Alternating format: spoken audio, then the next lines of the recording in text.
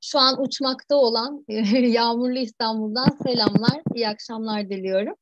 E, Dünya Tıbbi Sekreterler Günü e, denince e, akla aslında böyle biz yüz yüze geldiğimiz, işte bir arada olduğumuz, ortaklaşa etkinlikler yapmayı hep hedefledik. Yıllardır bir şekilde de yapıyorduk ama pandemi bizi bu konuda da vurdu ve bu seneki etkinliğimizi de bu şekilde online olarak gerçekleştirmek durumunda kaldık ama bunun güzel tarafı da var. E, Türkiye'nin her yerinden şu an e, değerli hocalarımız ve değerli öğrencilerimiz bizimle beraber. O yüzden e, herkesin e, çok gönülden bir şekilde Dünya Tıbbi Sekreterler Günü'nü kutluyorum.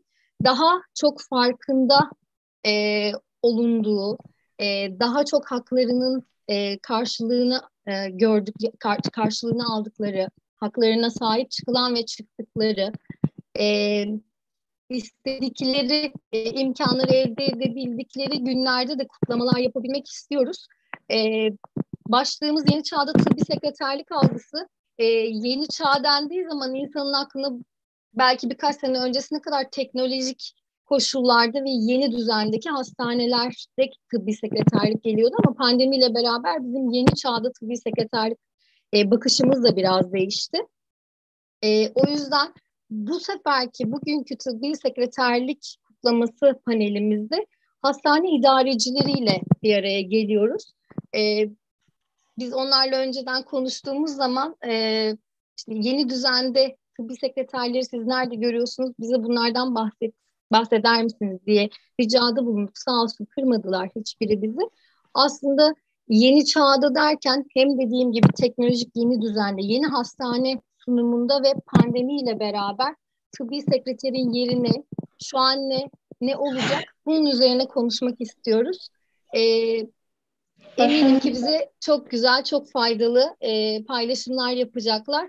E, lafı çok uzatmadan, ben çünkü çok konuşan bir insanım normalde de, çok sözü uzatmadan değerli katılımcılarımda e, sözü bırakmak istiyorum. Eminim çok çok faydalı e, paylaşımlar yapacaklar bize. E, şimdiden çok teşekkür ediyorum hepsine. Ama öncelikle Perihan Hocam'a söz vermek istiyorum. Onun da bu güzel günle ilgili görüşlerini e, almak isterim.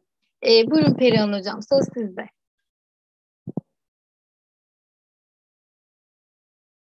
Hocam mikrofonunuz kapalı. E, hep aynı hatayı yapıyorum kusura bakmayın lütfen. Öncelikle tüm katılımcılarımıza, sayın panelistlerimize e, ve bizleri e, daha sonra kayıttan izleyecek olan izleyicilerimize de iyi akşamlar dilemek istiyorum. Bugün 29 Kasım Dünya Tıbbi Sekreterler Günü. Ankara Üniversitesi Sağlık Hizmetleri Meslek Yüksekokulu Tıbbi Dokümantasyon ve Sekreterlik Programı ve Altınbaş Üniversitesi Sağlık Hizmetleri Meslek Yüksekokulu Tıbbi Dokümantasyon ve Sekreterlik Programı olarak e, bizler birkaç hafta önce bir işbirliği yapmaya karar verdik.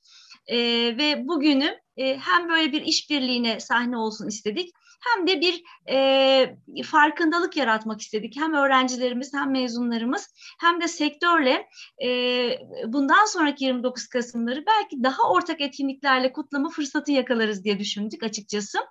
E, böyle küçük bir panelle biz kutluyoruz ama ben biliyorum ki tüm Türkiye'de Sağlık Bakanlığımız başta olmak üzere tüm hastanelerimizde ve üniversitelerimizde çeşitli etkinliklerle bugün kutlanmaya başlıyoruz başlanmış. E, biz de bugün Hacettepe Üniversitesi'nde Sayın Aslan Hocam'ın düzenlemiş olduğu bir etkinlikteydik. Orada da öğrencilerimizi, eski mezunlarımızı ve e, sektörü e, bir arada gördük. Çok mutlu olduk. Bugün akşam da e, Ankara Üniversitesi Cebeci Hastanesi e, Müdürü e, uzman Selcan Ülkü Çakır, e, Başkent Üniversitesi e, tıbbi arşiv arşiv sorumlusu aynı zamanda Başkent Üniversitesi Tıbbi Dokümantasyon Sekreterlik Programı'nda öğretim görevlilerinden bizim de çok değerli mezunumuz Barış Cihan hocamız e, ve e, Bahçelievler Medikal Park e, kalite sorumlusu Sayın Sinan Öncül bizlerle. E, bugün e, yeni çağda e, İrem Hocam'ın dediği gibi tıbbi sekreterlik algısı isimli bir başlık koyduk ama hepimizin muzdarip olduğu pandemi ve pandemi sonrası biliyorsunuz artık bizi yeni bir dönem bekliyor. Biz buna artık dönem değil bir çağ gibi bakıyoruz. Eğitim programlarımızı güncellerken de bundan sonraki etkinliklerimizi yaparken de hep bundan sonra pandemiyi bir sıfır noktası olarak alacağız öyle görünüyor. Dolayısıyla bu perspektifle e, panelistlerimizin bize tıbbi dokümantasyon alanında, tıbbi sekreterlik alanında e, ileriki yıllarda neler beklendiğini, e, neler istendiğini e, hem kendi deney, değerli deneyimleriyle hem de vizyoner bakış açılarıyla sunacaklarına inanıyorum. Ben de sözü daha fazla uzatmak istemiyorum. Tek bir ricada bulunacağım. E, izleyen e, izleyicilerimiz, öğrencilerimiz e, ekranla ve e, mikrofonlarıyla mümkünse pek oynamasınlar. E, YouTube'dan canlı yayın yapıyoruz yayının kalitesi açısından daha sonra da izlenebilmesi açısından e, bu konuda e, anlayışlarını bekliyoruz. Teşekkür ediyorum. Ben sözü tekrar İrem Hocama bırakıyorum. Çok teşekkürler hocam. Ee, güzel yorumlarınız için de teşekkür ederim. Ee, biz e, sazı elimize aldığımızda çok kaptırdığımız için hiç ara vermeden e, değerli Selcan Ülkü Çakır'la e, başlangıç yapmak istiyorum. E, öncelikle kendisiyle alakalı e, bir e, görselimiz olacak. Evet. E, pardon. E, Selcan Hanım e, Ankara evet. Üniversitesi Cebeci Hastanesi de e, hastane müdürü olarak görev alıyor. Lisans eğitimi eğitimini 1995 ve 2000 yılları arasında Hacettepe Üniversitesi Sağlık İdaresi Yüksekokulu'nda tamamladıktan sonra 2005 ve 2010 yılları arasında örgütsel iklim ile iş tatmini ilişkisi konulu teziyle Ankara Üniversitesi Sağlık Bilimleri Fakültesi Sağlık Kurumları Yönetimi Ana Bilim Dalı'nda yüksek lisansını tamamlamış. E, iş hayatında 2000 yılında Gazi Üniversitesi Tıp Fakültesi Hastanesi Döner Sermaye ve Satın Alma Biriminde sağlık idaresi olarak başlamış. Aynı kazandığı me memuriyet sınavıyla Ankara Üniversitesi Tıp Fakültesi dekanlığına geçiş yapmış. E, 21 yıllık iş hayatında Ankara Üniversitesi Tıp Fakültesi Cebeci Araştırma ve Uygulama Hastanesi'nde idari hizmetler sorumlusu, mali hizmetler ve bütçeleme birimi sorumlusu, hastane müdür yardımcısı, kanser araştırma enstitüsü sekreterliği kadrolarında görev e, yapmış. 2018 yılından bu yana da Ankara Üniversitesi Tıp Fakültesi Cebeci Araştırma ve Uygulama Hastanesi'nde hastane müdürü olarak görev yapıyor. 2000 yılında Almanya Augsburg diyeceğim ama ben Almancam iyi değil o yüzden yanlış ifade etmem çok yüksek ihtimalle. E, 2006 2000 ve 2006 yıllarında Almanya'da diye ifade edeyim şehirler e, çeşitli şehirlerde yer alan hastanelerde klinik gözlem ziyaretlerinde bulunmuş. Akreditasyon ve sağlıklı kalite standartları, örgütsel iklim ve iş tatmini, maliyet analizi gibi konularda yayınlanmış ulusal ve uluslararası makale ve bildirileri bulunmakta. Sağlık yöntemi, hasta güvenliği, tıbbi doküman ve arşiv yöntemi, iş sağlığı ve güvenliği, maliyet analizi, risk analizi, stratejik plan ve sağlık ekonomisi alanında da çok çeşitli proje ve eğitimlere katılmış diyorum ve e, Selcan Hanım'a sözü bırakıyorum. E, buyurun tekrar hoş geldiniz. Teşekkür ediyorum e, İrem Hanım. E, gerçekten e, bugün çok heyecanlandım açıkçası. E, çünkü uzun zaman önceki Perihan Hocam'la biz dönem arkadaşıyız üniversiteden de. O yüzden gençlik e, bu daveti verdikten sonra Perihan Hocam bize gençlik fotoğrafımızı da paylaşmıştı. Gerçekten çok uzun zaman olunca ve burada tekrar karşılaşınca çok heyecanlandım. Artı Barış Bey'i de bir ziyaretimizde tanımıştım. O yüzden onu da burada görmekten de çok mutluyum ve diğer arkadaşlarıma da öncelikle hoş geldiniz diyorum. Ee, gerçekten e, e, bugün güzel bir konu ele alınmış. Ee, hastaneler için de çok önem arz ettiğini düşünüyorum. Çünkü e, bizim hastanemizde gerçekten oldukça geçmişi geçmişi uzak olan bir hastane ve e, tabii 1900'lü yılların başında askeri amaçlı inşa edilmiş ve tarihi bir hastane. E, bu nedenle çok büyük bir hastaneyiz ve e, Mustafa Kemal Atatürk'ün e, 1945'te kanunla kurularak Türkiye Cumhuriyeti'nin ilk tıp fakültesinin ilk e, hizmet veren de hastanesi olmanın da çok güzel bir e, yeri var. E, ve 1945'te de e, konferans salonunda İsmet İnönü tarafından açılan bir hastaneyiz açıkçası. O yüzden e, hastanemizin tarihçesi çok geçmişe dayanıyor. Şu anda da e, gerçekten 1085 yataklı hizmetle e, yatak kapasitesiyle yatay bir yerleşkede e, hizmet veriyoruz. 114 bin metrekarelik bir alanda 36 binada e, ayrı çok özellikli merkezlerle e, hizmet veriyoruz. Çok büyük bir çocuk hastanesiyle e, bu hizmetlerimizi sürdürmeye çalışıyoruz. Çok e, çeşitli branşlarda hizmetler veriyoruz. E, personel sayımız oldukça yüksek. 7 gün 24 saat ve bu pandeminin başladığı süreçten itibaren de 11 e, e, Mart'tan itibaren de pandemi hastanesi olarak da hizmet vermekteyiz. O yüzden e, gerçekten e, verilen hizmetler e, biraz önce Perihan Hocam'ın da bahsettiği gibi bir de pandemi eklenince üzerine bu hizmetlerin daha büyük önem arz ettiğini düşünüyorum ben.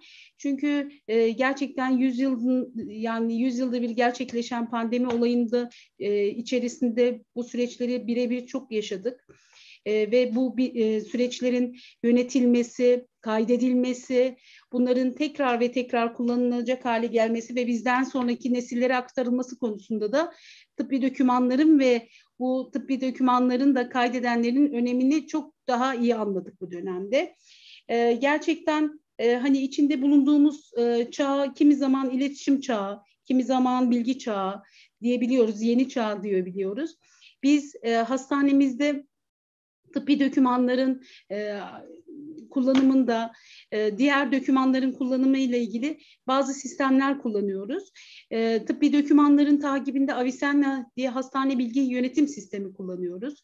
Diğer e, dokümanlarımızın e, takibinde ise Beyaz diye bir bilgi bölge yönetim sistemi kullanıyoruz. Ayrıca e, sağlıkta kalite standartları gereği de e, QDMS diye bu e, sağlıktaki e, dokümanların, formların, prosedürlerin üretildiği ve bütün personelimiz tarafından, hastanemiz tarafından e, güncellenen bir sistem içerisinde de bu sistemleri kullanıyoruz. Ancak bu belgelerden verimli şekilde yararlanabilmesi için de belgelerin bilimsel ilke, kurallara göre toplanması, düzenlenmesi, saklanması ve tekrar tekrar hizmete sunulması çok önemli. Yani dokümantasyon faaliyetlerine tabi tutulması gerekiyor bunların.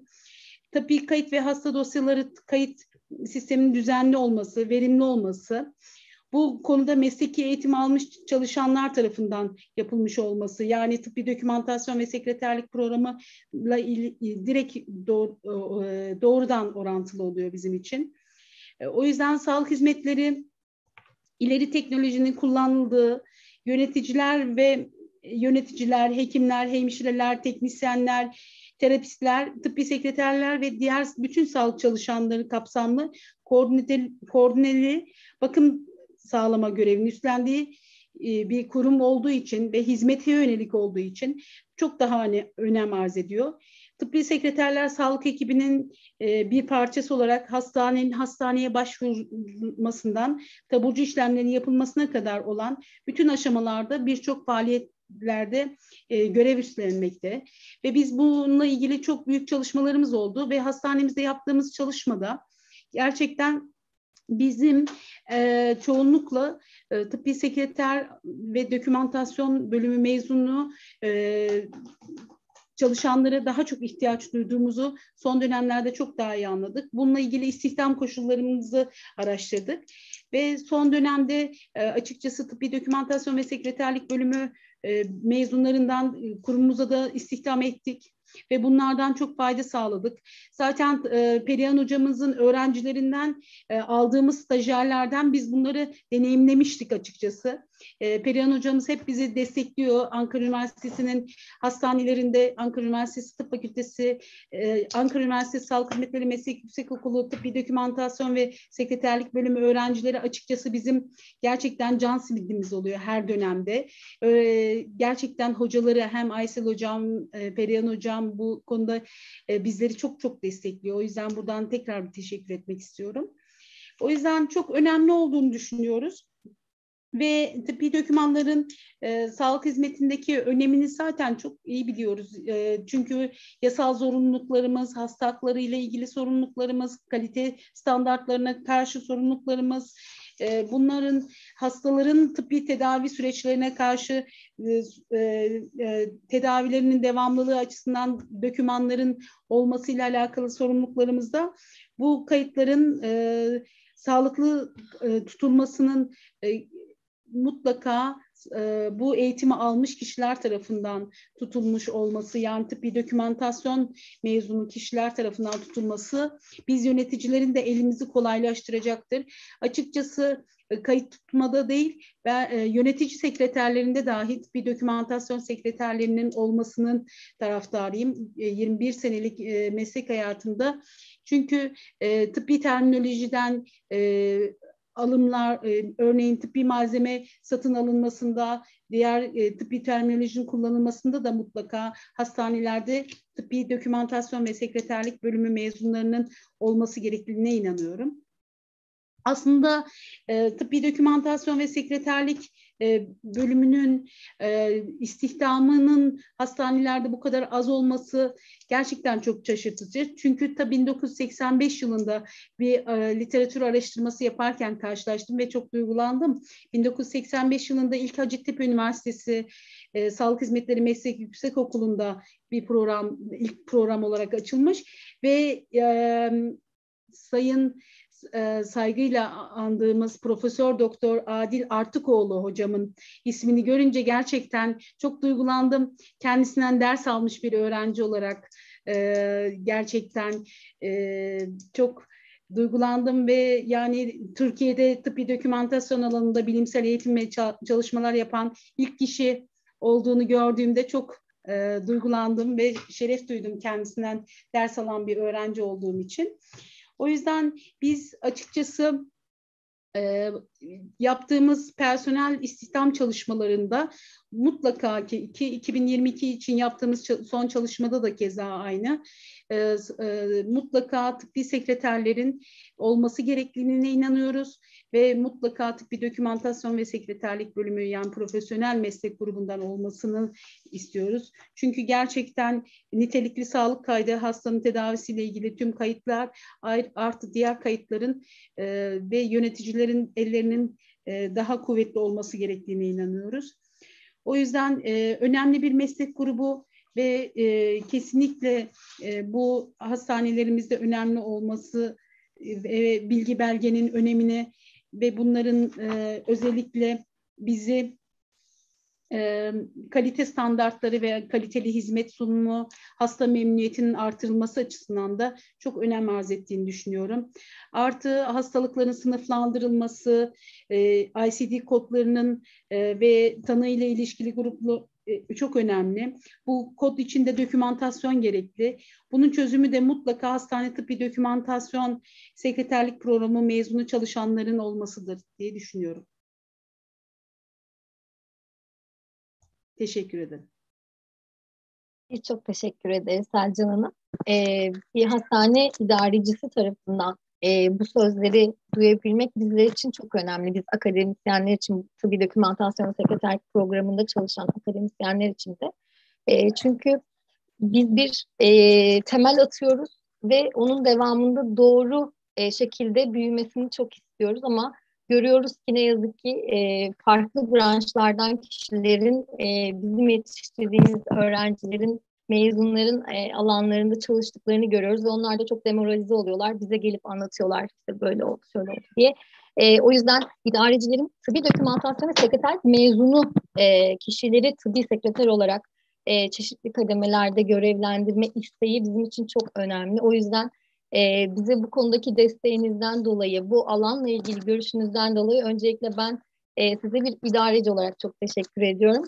E, sonrasında da değerli e, katkılarınız için tekrar çok teşekkür ederiz.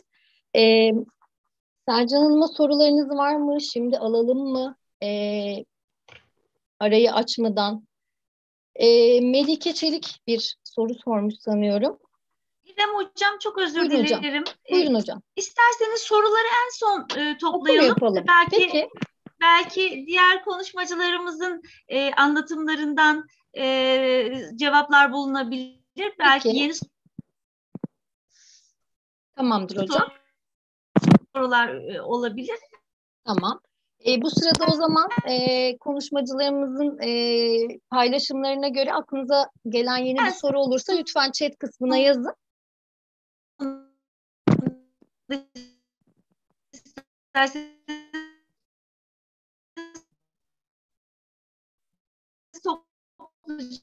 Alalım. Benim internet bağlantımda sanırım bir sorun oldu hocam. E, o yüzden konuşmalarınızı duyamadım. Ne yazık ki çok özür diliyorum. Ses gelmiyor hocam. İran Hoca mı dondu? Benim mi sesim gelmiyor? Çok anlayamadım. Dondu herhalde. Oh, heh. Herhalde bağlantı ile ilgili bir sıkıntı var. Kesildi. Gelir tekrar. Ee, tek benim söylediklerim duyuldu mu bilmiyorum ama şöyle diyelim o zaman. Ee, tüm konuşmacılarımızın konuşmaları sona erdiğinde soruları alalım. Bu sırada sizin aklınıza yeni bir soru gelirse özellikle sevgili öğrenci arkadaşlarımız lütfen chat kısmına yazın. Toplu olarak okuyalım. Ee, Hanım yayın sonuna kadar kalırsanız çok memnun oluruz. Ee, küçük bir paylaşımımız olacak orada çünkü sizinle. Diyorum ve e, Barış Hocama e, geçiş yapmak istiyorum kendisi de e, uygunsa. Evet Barış Hocam tekrar merhabalar. Herkese merhaba. Ee, bu nazik davetiniz için çok teşekkür ederim. Ee, bu konuyu işlediğiniz için de çok teşekkür ederim. Ee, katılımcı tüm e, öğrenci arkadaşlarımıza, sayın hocalarımıza e, sevgilerimi ve selamlarımı iletiyorum. E, Başkent Üniversitesi Ankara Hastanesi Arşiv ve Tıbbi Dokümantasyon bölümünde e, çok uzun zamandır sorumlu olarak görev yapıyorum. 1999'da Ankara Üniversitesi Sağlık Hizmetleri Meslek Yüksekokulu'ndan mezun olduktan sonra akabinde e, arşiv ünitesinde çalışmaya başladım. E, hiç bölümümü değiştirmedim. Yaklaşık 22 yıldır arşivde çalışıyorum. Hı hı. E, şimdi e, aslında ufak bir sunum hazırladım. E, öğrenci arkadaşlara e, hani yeni dönemdeki e, tıbbi e, dokümantasyon e, meselesi nasıl gidecek hastanelerde, hastanelerin beklentileri neler, tıbbi sekreterlerden beklentileri neler, tıbbi kayıtçılardan e, beklentileri neler, hekimlerin beklentileri neler? E, ufak bir sunum hazırladım aslında. E, on, onunla devam etmek istiyorum izninizle. Tabii hocam buyurun. Bu arada siz açarken ben e, sizinle ilgili e, özgeçmiş kısmını okumadığımı fark ettim. E, sunu, sunum kısmında bu konularda çok becerikli olmadığımı biliyordum ama artık affola herkesten. e, ben devam edeyim mi? Sonra mı yaparsınız? Buyurun buyurun. Yani e, okumadı diye gücenmeyin bana. E, çok Hayır, istemedim evet. sizi lütfen. E, buyurun. E, yansıtabildiniz mi? Şu an gözükmüyor ama. Ben yansıttım ama siz görebiliyor musunuz? Hayır. Şu an gelmedi hocam. Ben bunu kapatmalıyım sanıyorum. Belki de o yüzden e, olmadı. Ha şimdi bendeymiş hata. Buyurun. Hı hı. Ee, ya öncelikle şunu söylemek istiyorum. Ee, Türkiye'de tıbbi dokümantasyon ve sekreterlik programı mezunu öğrencilerin henüz bir e, derneği yok. Yani resmi anlamda kurulmuş bir e, derneği yok. E, bu çok ciddi bir sıkıntı. Şu anlamda ciddi bir e, sıkıntı. E, işte iki yıl örgün öğretim görüyor çocuklar. Uzun da bir dönem örgün öğretim görüyorlar e, sabahtan akşama kadar süren bir dersleri oluyor. Staj süreçleri falan oluyor. E, fakat tabii ki e, bir dernek ve bir örgütlülük şeyleri olmadığından dolayı da bu mesleki anlamda işe gir, girmelerinde, atanmalarında, işteki bir takım özlük haklarında e, çok fazla eksiklikler var. E, olma ya eksiklik olmasına rağmen bununla ilgili yapılan herhangi bir çalışma, başlanan bir çalışma da yok. Yani devlet tarafından yapılan bir çalışma da yok. Ya umarım en kısa zamanda bir dernekleşme sürecine gidilir e, ve mesleğin standartının gelişmesi açısından e, insanların bu meslek sahibi insanların hukuksal olarak haklarını savunması açısından e, çalışmalar e, başlar diye bir dilekte bulunmak istiyorum. Şöyle ki e, aslında e, toplumsal e, geniş gelişmelerle birlikte işte ilk insanın e, ortaya çıkışıyla birlikte işte tarım toplumunun gelişmesi, sanayi toplumunun gelişmesi ve en sonunda isimlendirilen bilgi toplumunun gelişmesiyle e, birlikte bizim hastalık e, algılarımız, e, hastalıkların nasıl tedavi e, edileceği ve kim tarafından tedavi edileceği e, algıları hep değişmiştir. E, tıp tarihçileri işte tıp bölümlere ayırarak işte ilk olarak içgüdüsel tıp, sonra ampirik tıp yani deneme yanılma yöntemi olan, büyüsel tıp, işte e, felsefi tıp ve en son işte bilimsel modern tıp yani Hipokrat'ın e, seküler e, tıbbın e, başlangıcı ve tıbbi kayıtların da aslında düzenli anlamda e, tutulmaya başlamasını mihenk taşı olarak e, kabul edersek e, o günden bugüne kadar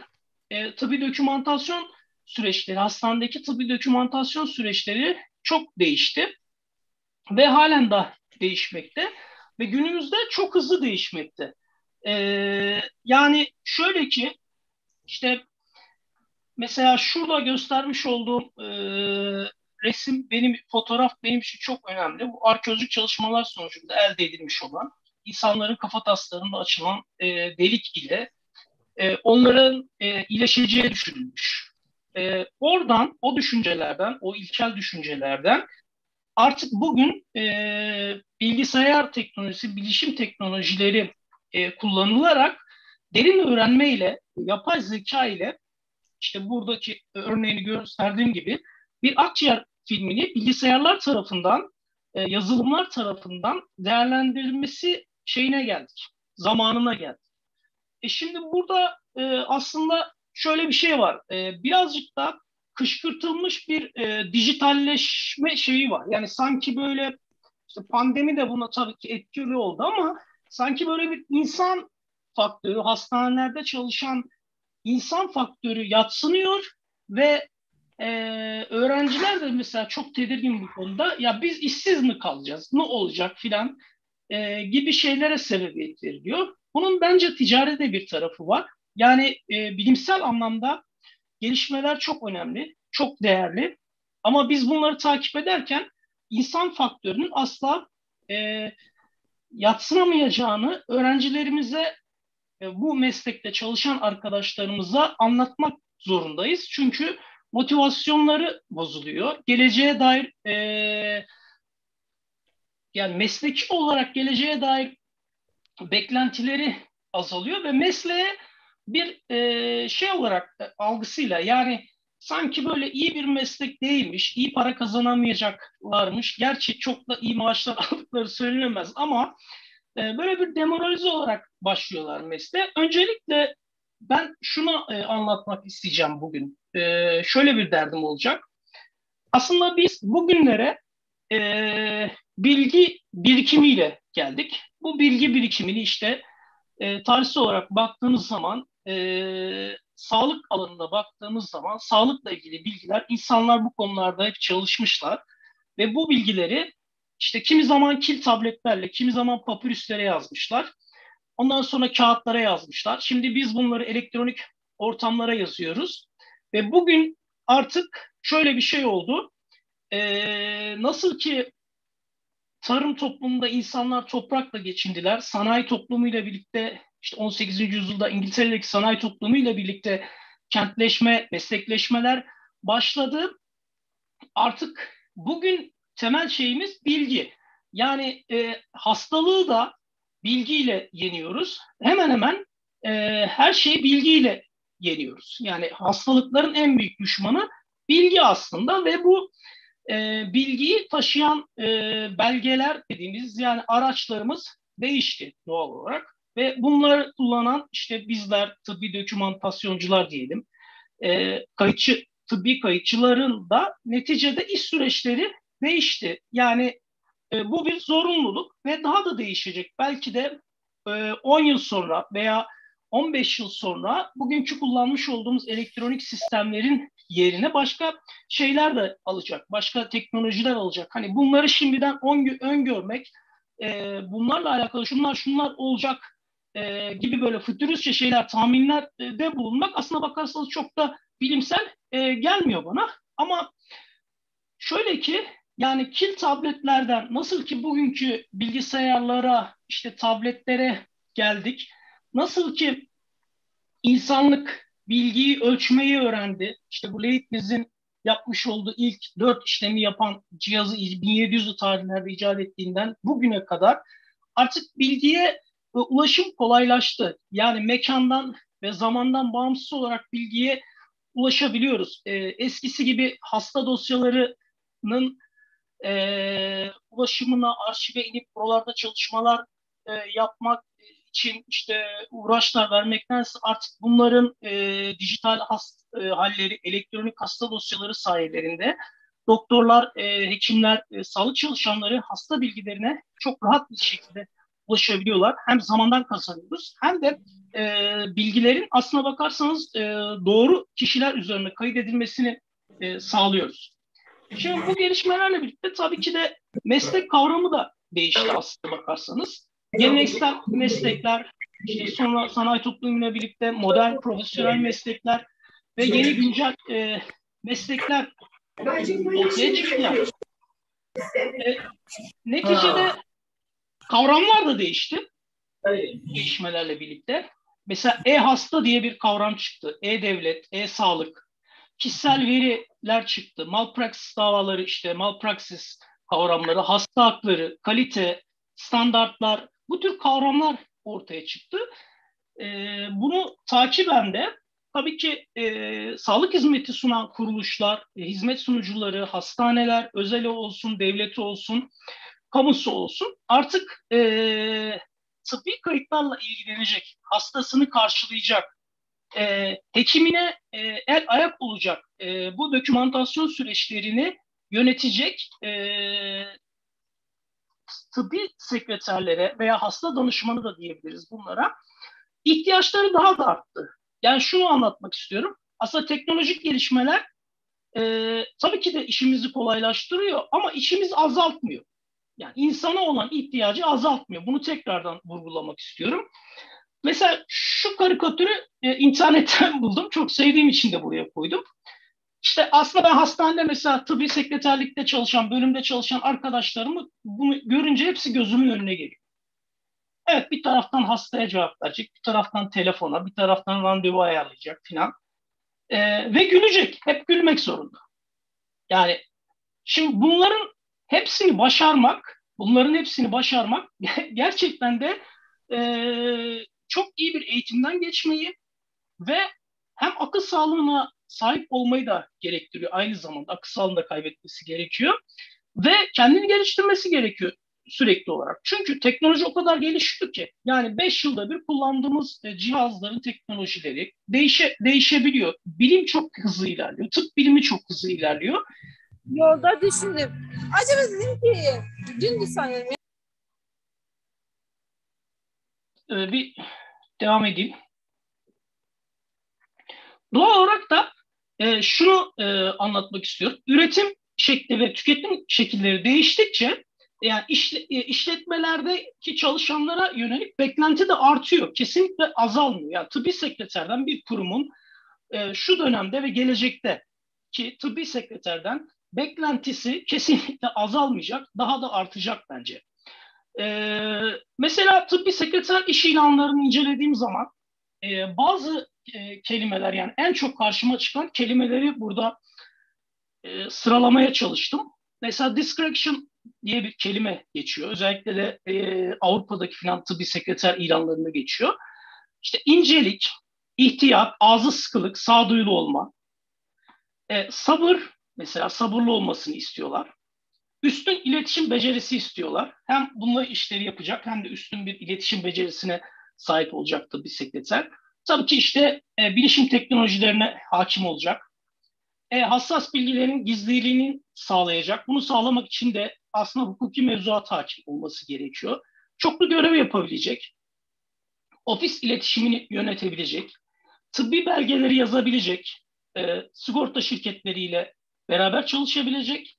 Yani en nihayetinde sorunsuz bir iş akışını sağlayacak o bölümde, çalışmış olduğu bölümde ki hekim e, ana işi olan sağlık bakımıyla yani hastaya bakımla uğraşacak. Çünkü e, günümüzdeki e, güncel e, kurallara e, falan baktığımızda aslına bakarsanız hekimin de çok fazla dokümantasyon işi var. Çok fazla uğraşması gereken e, yazı çizi işi var. Bunları üzerinden alırsak eğer hekimin üzerinden al, alırsa bir tıbbi sekreter e, işte o tıbbi sekreter vazgeçilmez oluyor. Hem e, hekim için hem de kurum için e, vazgeçilmez oluyor. Şimdi hasta açısından bakarsak bir de hastanın artık hastanın da tıbbi sekreterden beklentisi değişti. Günümüzde değişti.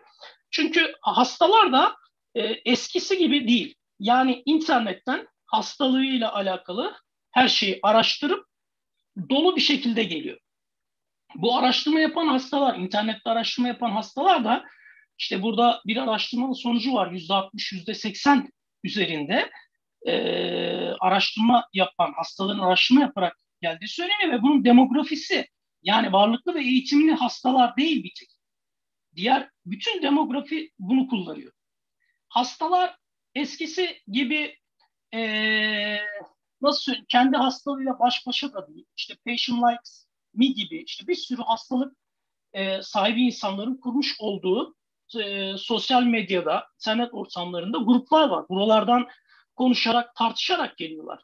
E, doğal olarak da algıyı, insan algısını, e, bilgi, insanın kendi bilgi birikimi e, biçimlendirdiği için aslında bu bilgilerle gelen hastanın e, doktora karşı olan algısı, ondan alacağı e, hizmete karşı olan algısı ve kendini karşılayan tıbbi e, sekretere karşı veya hasta danışmanına karşı algısı çok değişiyor.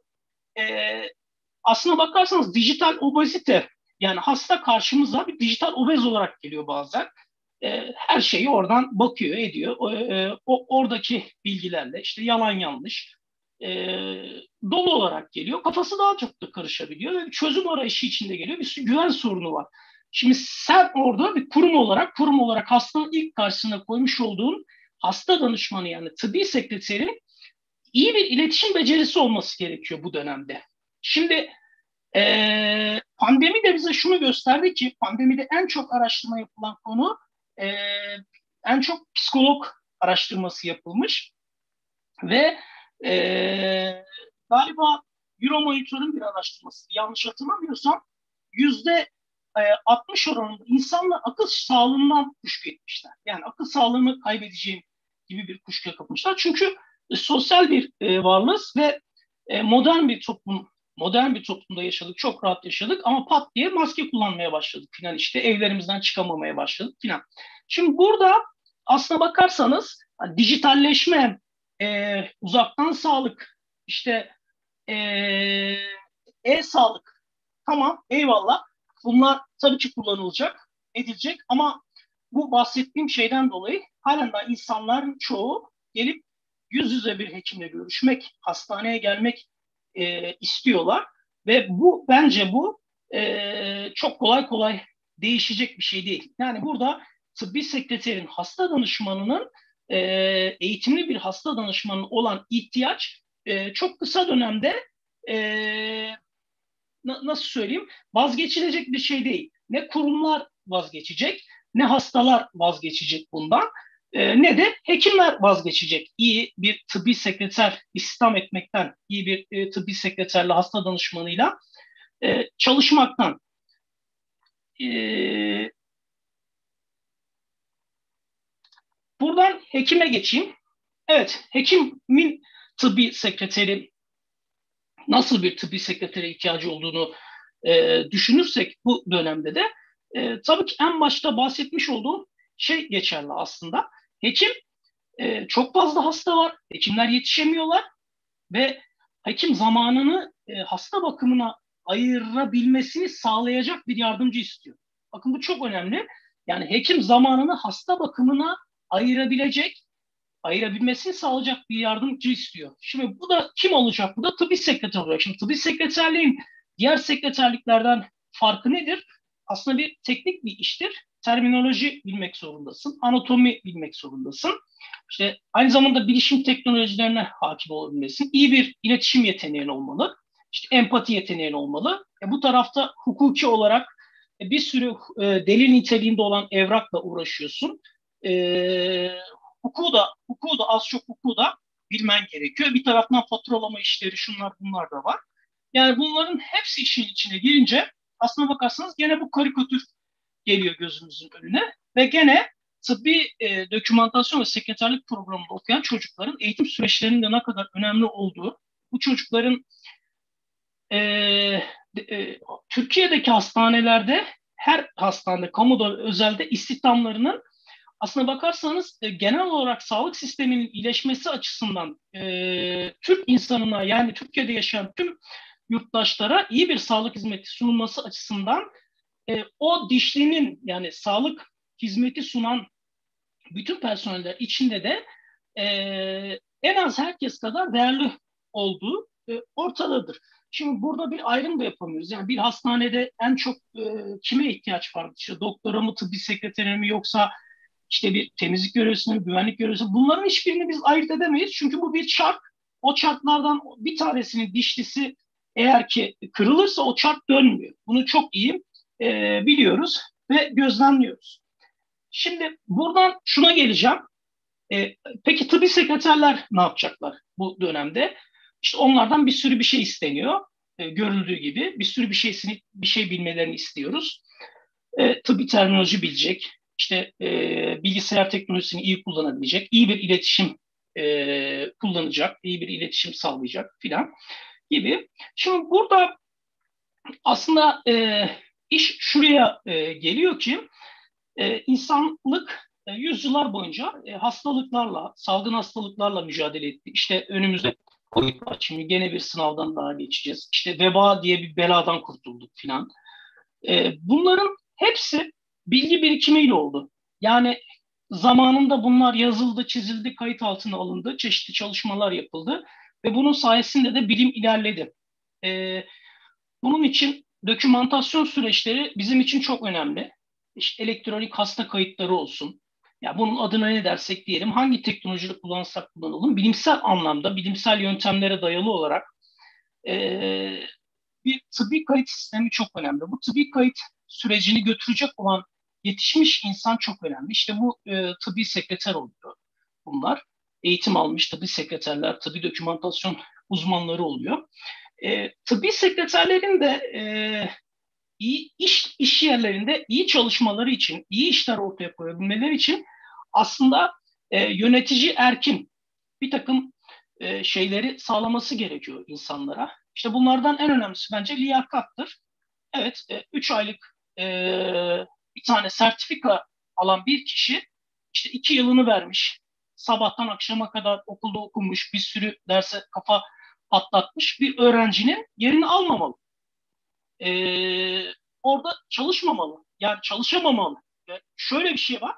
Elbette ki e, insanlar e, şey yapmıyoruz. Yani kategorize etme gibi derdimiz yok. Ama eğer sen bu bölümü açmışsan üniversitelerde ve bu bölüm e, medaya, diploma veriyorsak biz insanlara e, o zaman bu insanların mesleklerini yapmaları için insanları çekici bir takım şeyler e, düzenlemek zorundayız.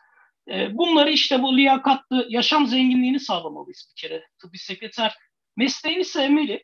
E, böyle gül, gülmesini istiyorsak eğer hastalara e, mesleğini severek yapmalı ki bir sürü mesleğini severek yapan insan var. ben şeye de şahit oluyorum. Hastanede çok fazla kurabiye yapıp kek yapıp işte ben kızlarıma kek getirdim deyip sekreter arkadaşlara kek yapıp getiren teyzeler olsun. Bunlar çok güzel şeyler. Bunlar çok motive edici şeyler e, insanlar e, tıbbi sekreterlerin aslında e, kıymetini biliyor, bilmiyor değiller. E, kıymet e, bilmeyen e, yerler e, ayrı yerler. Onlar da aslında bakarsan üzerine düşen görevleri yapmak için kendi kendilerini yapmayacaklar. İşte burada bizim dernekleşme süreçlerimizin mesleğe sahip çıkma, öğrencilere sahip çıkma süreçlerinde e, öncülere e, ihtiyacımız var. Bir diğeri de iyi bir eğitim süreci tabii ki öğrencisi iyi bir eğitim süreci olmalı. Bu da akademiye düşen bir görev. Aslında Türkiye'de e, gayet de güzel e, eğitimler vererek öğrenciler e, mezun ediliyorlar. E, bunun dışında da e, şöyle ki e, yani e, aslında tıbbi sekreter önce kendinin değerli olduğunun algısına varmalı. E, daha sonra zaten o algıya vardıktan sonra e, insanlar da e, bu mesleğe karşı algıları e, daha da e, değişecektir, daha da olumlu olacaktır diye düşünüyorum ve bütün arkadaşlara e, özellikle öğrenci arkadaşlarıma bilime güvenmelerini, kendilerine güvenmelerini ve çok okumalarını tavsiye ediyorum. Teşekkür ediyorum. Ağzınıza sağlık. Biz çok teşekkür ediyoruz. Ee, gerçekten e, sektörün sorun olarak nitelendirebileceği, e, belki de hatta kanayan yarası diye benim ifade edebileceğim e, konulara değindiniz. E, gerçekten çok kıymetli ama şu açıdan da baktığımızda daha da kıymetli buluyorum. E, Barış Hocam diyorum ben, e, öğretim görevliliği yaptığı zamanları bildiğim için e, kendisiyle o zaman temas etmesek de ben de e, Barış Can öyle geçerli. E, kendisi idari kimliğiyle bugün burada olsa da e, gerçekten çok öğretici, çok faydalı oldu ama şunu da belirtmek lazım. Tıbbi dokümantasyon ve sekreterlik mezunu bir e, idareci olarak aslında yorumladı bence e, tıbbi sekreterlik sektörünü. O yüzden eminim öğrencilerimiz için e, oldukça e, faydalı bir bakış açısı kazandırmıştır. Biz anlattığımızda bazı şeyler havada kalabiliyor ama sektörden bir kişinin alandan olup da sektörden bir kişinin anlatması eminim çok daha e, faydalı olmuştur. O yüzden e, ben tüm öğrencilerimiz adına çok teşekkür ediyorum size. E, siz de ya, yayının sonuna kadar kalırsanız çok memnun olurum. Hem de sorular olursa onları alacağız. E, şimdi ekranım gözüküyor mu bilmiyorum e, ama sözü Sinan Bey'e bırakacağım.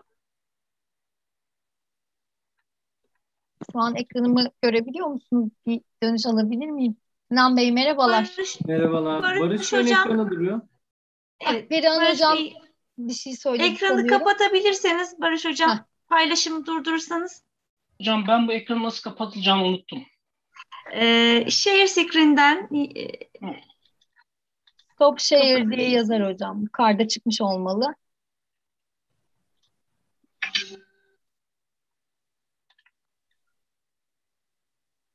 Tamam hocam oldu. çok teşekkürler. Oldu hocam.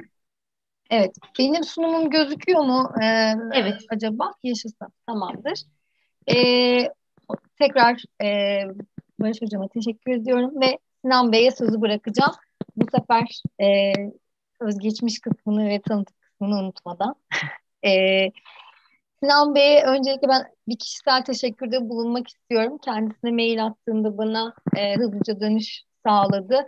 E, kalite konusunun e, tıbbi sekreterlik kısmında ben birazcık göz ardı edildiğini düşünüyorum. E, şu açıdan sanki sağlık yönetimiyle ilgiliymiş de tıbbi sekreterlerle ilgili değilmiş gibi algılanıyor ama kendisiyle görüştüğümüzde de yine Selcan Hanım da belki katılacaktır bu noktada. Tıbbi sekreterlerin de kalite e, kısmında e, epeyce bir rolleri olduğunu düşünüyorum. E, o yüzden bir kalite müdürü olarak İstanbul Bahçeli Evler Medikal Park Hastanesi kalite müdürü Sinan Bey hakkında ufak bir e, bilgilendirme verdikten sonra sözü kendisine bırakacağım. Kendisi e, lise kısmında tıbbi sekreterlik bölümü, bölümü mezunu Soma Sağlık Lisesi'nden, Soma Sağlık Meslek Lisesi'nden lisans ve yüksek lisans eğitimlerinde işletme bölümü üzerine gerçekleştirmiş. Aynı zamanda iş sağlığı ve güvenliği e, ön lisans eğitiminde almış. İş hayatının 2007 yılında Vestel bünyesinde başlamış. 2010 ve 13 yıllarında arasında UHG diye ifade edeceğim ama e, yabancı menşeli e, yine bir kalite iyileştirme ve dokümantasyon e, sorumluluğu görevini üstlenmiş. 2013 yılında Medikal Park yolculuğuna başlamış zannediyorum. E, Silivri Medikal Park Anadolu Hastaneleri grubunda kalite müdürü olarak e, başlıyor ve 2016 yılına kadar bu kurum bünyesinde çalışıyor.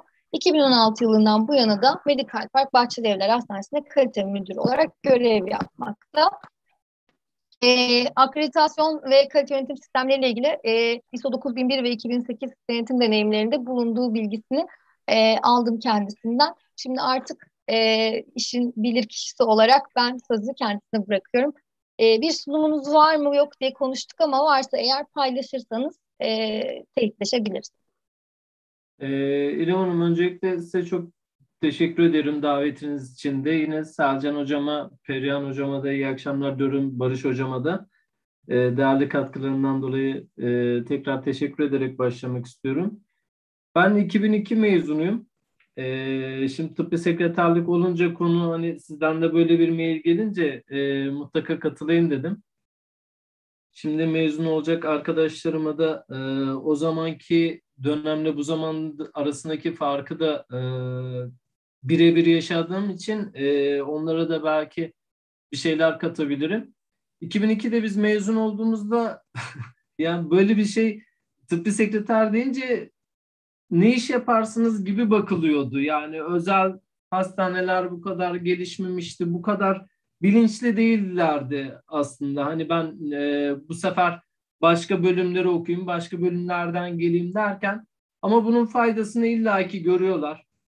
E, şu anda dediğim gibi daha bilinçli olduğumuz için bizim denetimlerde e, hasta, hasta yanında bulundurulması gereken insanların başında tıbbi sekreter geliyor.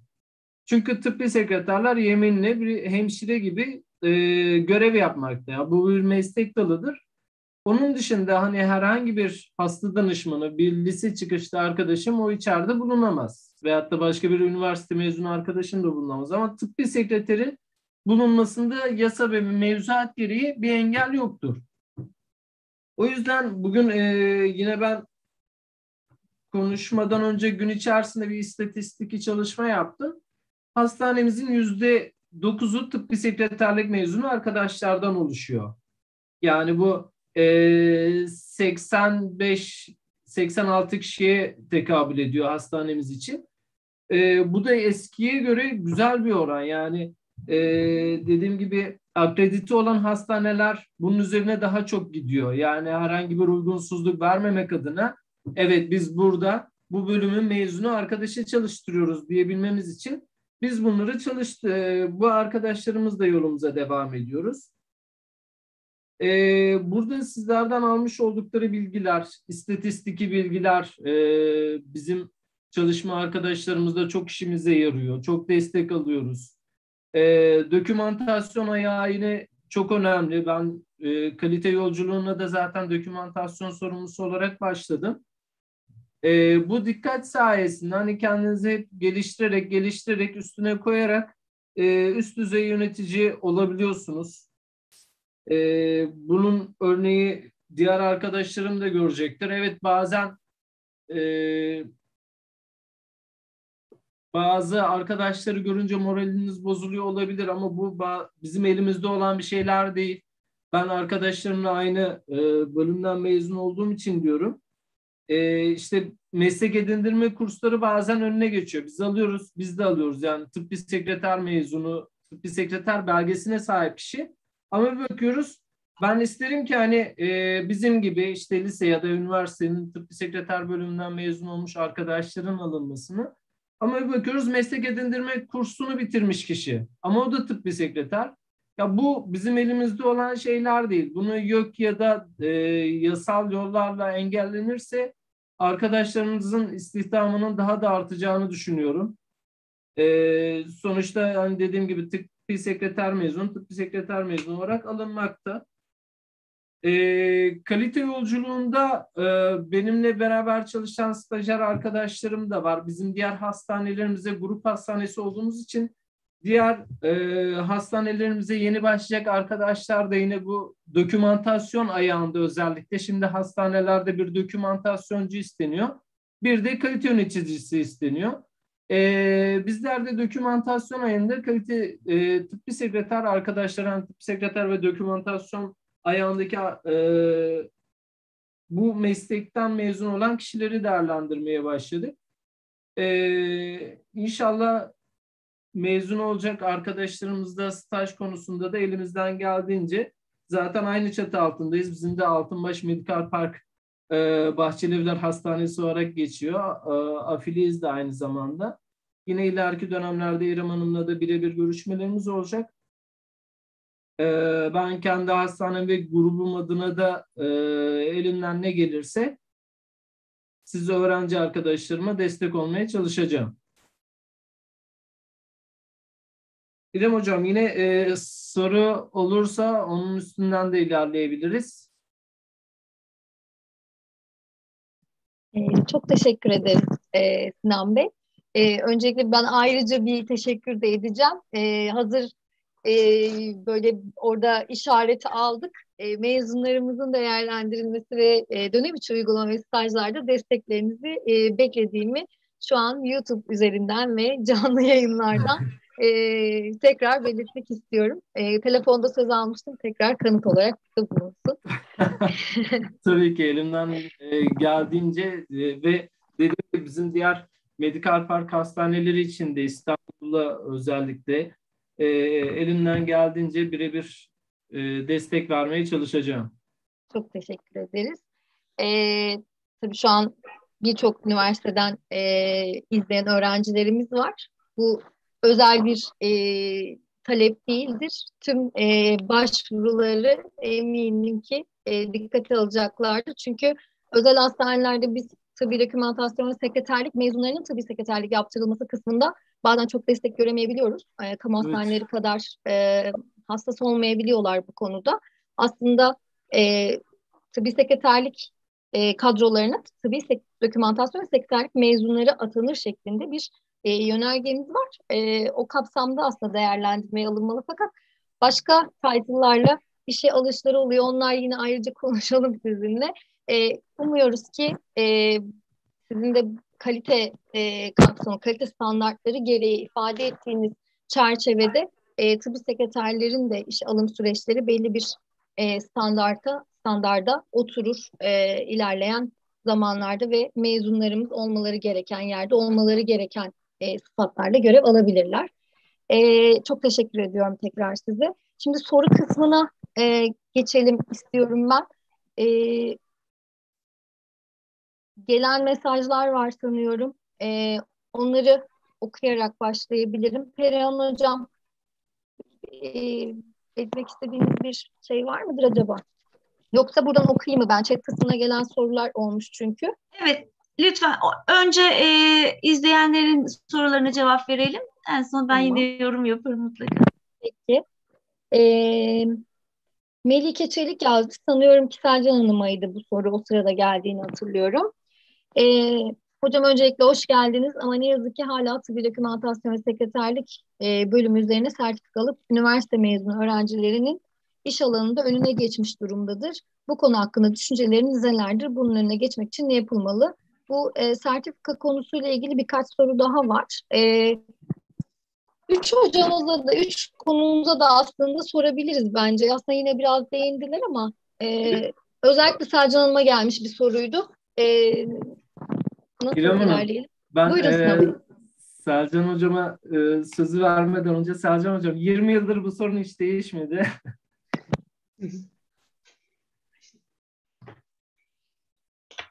Ee, şöyle biz en son 2022 yılı için planladığımızda bu senede dört tane tıbbi dokümantasyon ve sekreterlik bölümü mezunu e, aldık biz e, her iki hastanemiz için.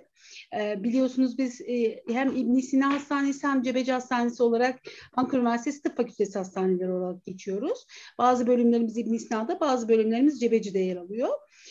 E, o yüzden biz bu sene e, işçi e, şey e, sözleşmeli kadroda 657 4 kadrosunda e, dört tane tıbbi dokümantasyon ve sekreterlik bölümü e, mezunu aldık. Ve bundan sonraki süreçlerde de e, 2022 yılı içerisinde de e, 4 bey kadrosunda istihdam etmeyi planladık. E, bunda da e, biz e, nitelik şartlar kısmında mutlaka e, il, e, ilgili üniversitelerin tıbbi dokümantasyon ve sekreterlik bölümü mezunu şartını yerleştirdik bu alanlara da. Ancak biliyorsunuz ki artık merkezi yerleştirme sistemi e, bütün üniversitelerde olduğu üzere KPSS puanı mutlaka gerekli oluyor. O yüzden yani arkadaşların hani mezun olduktan sonra veya mezun son senelerinde mutlaka KPSS puanlarında almaları gerekiyor.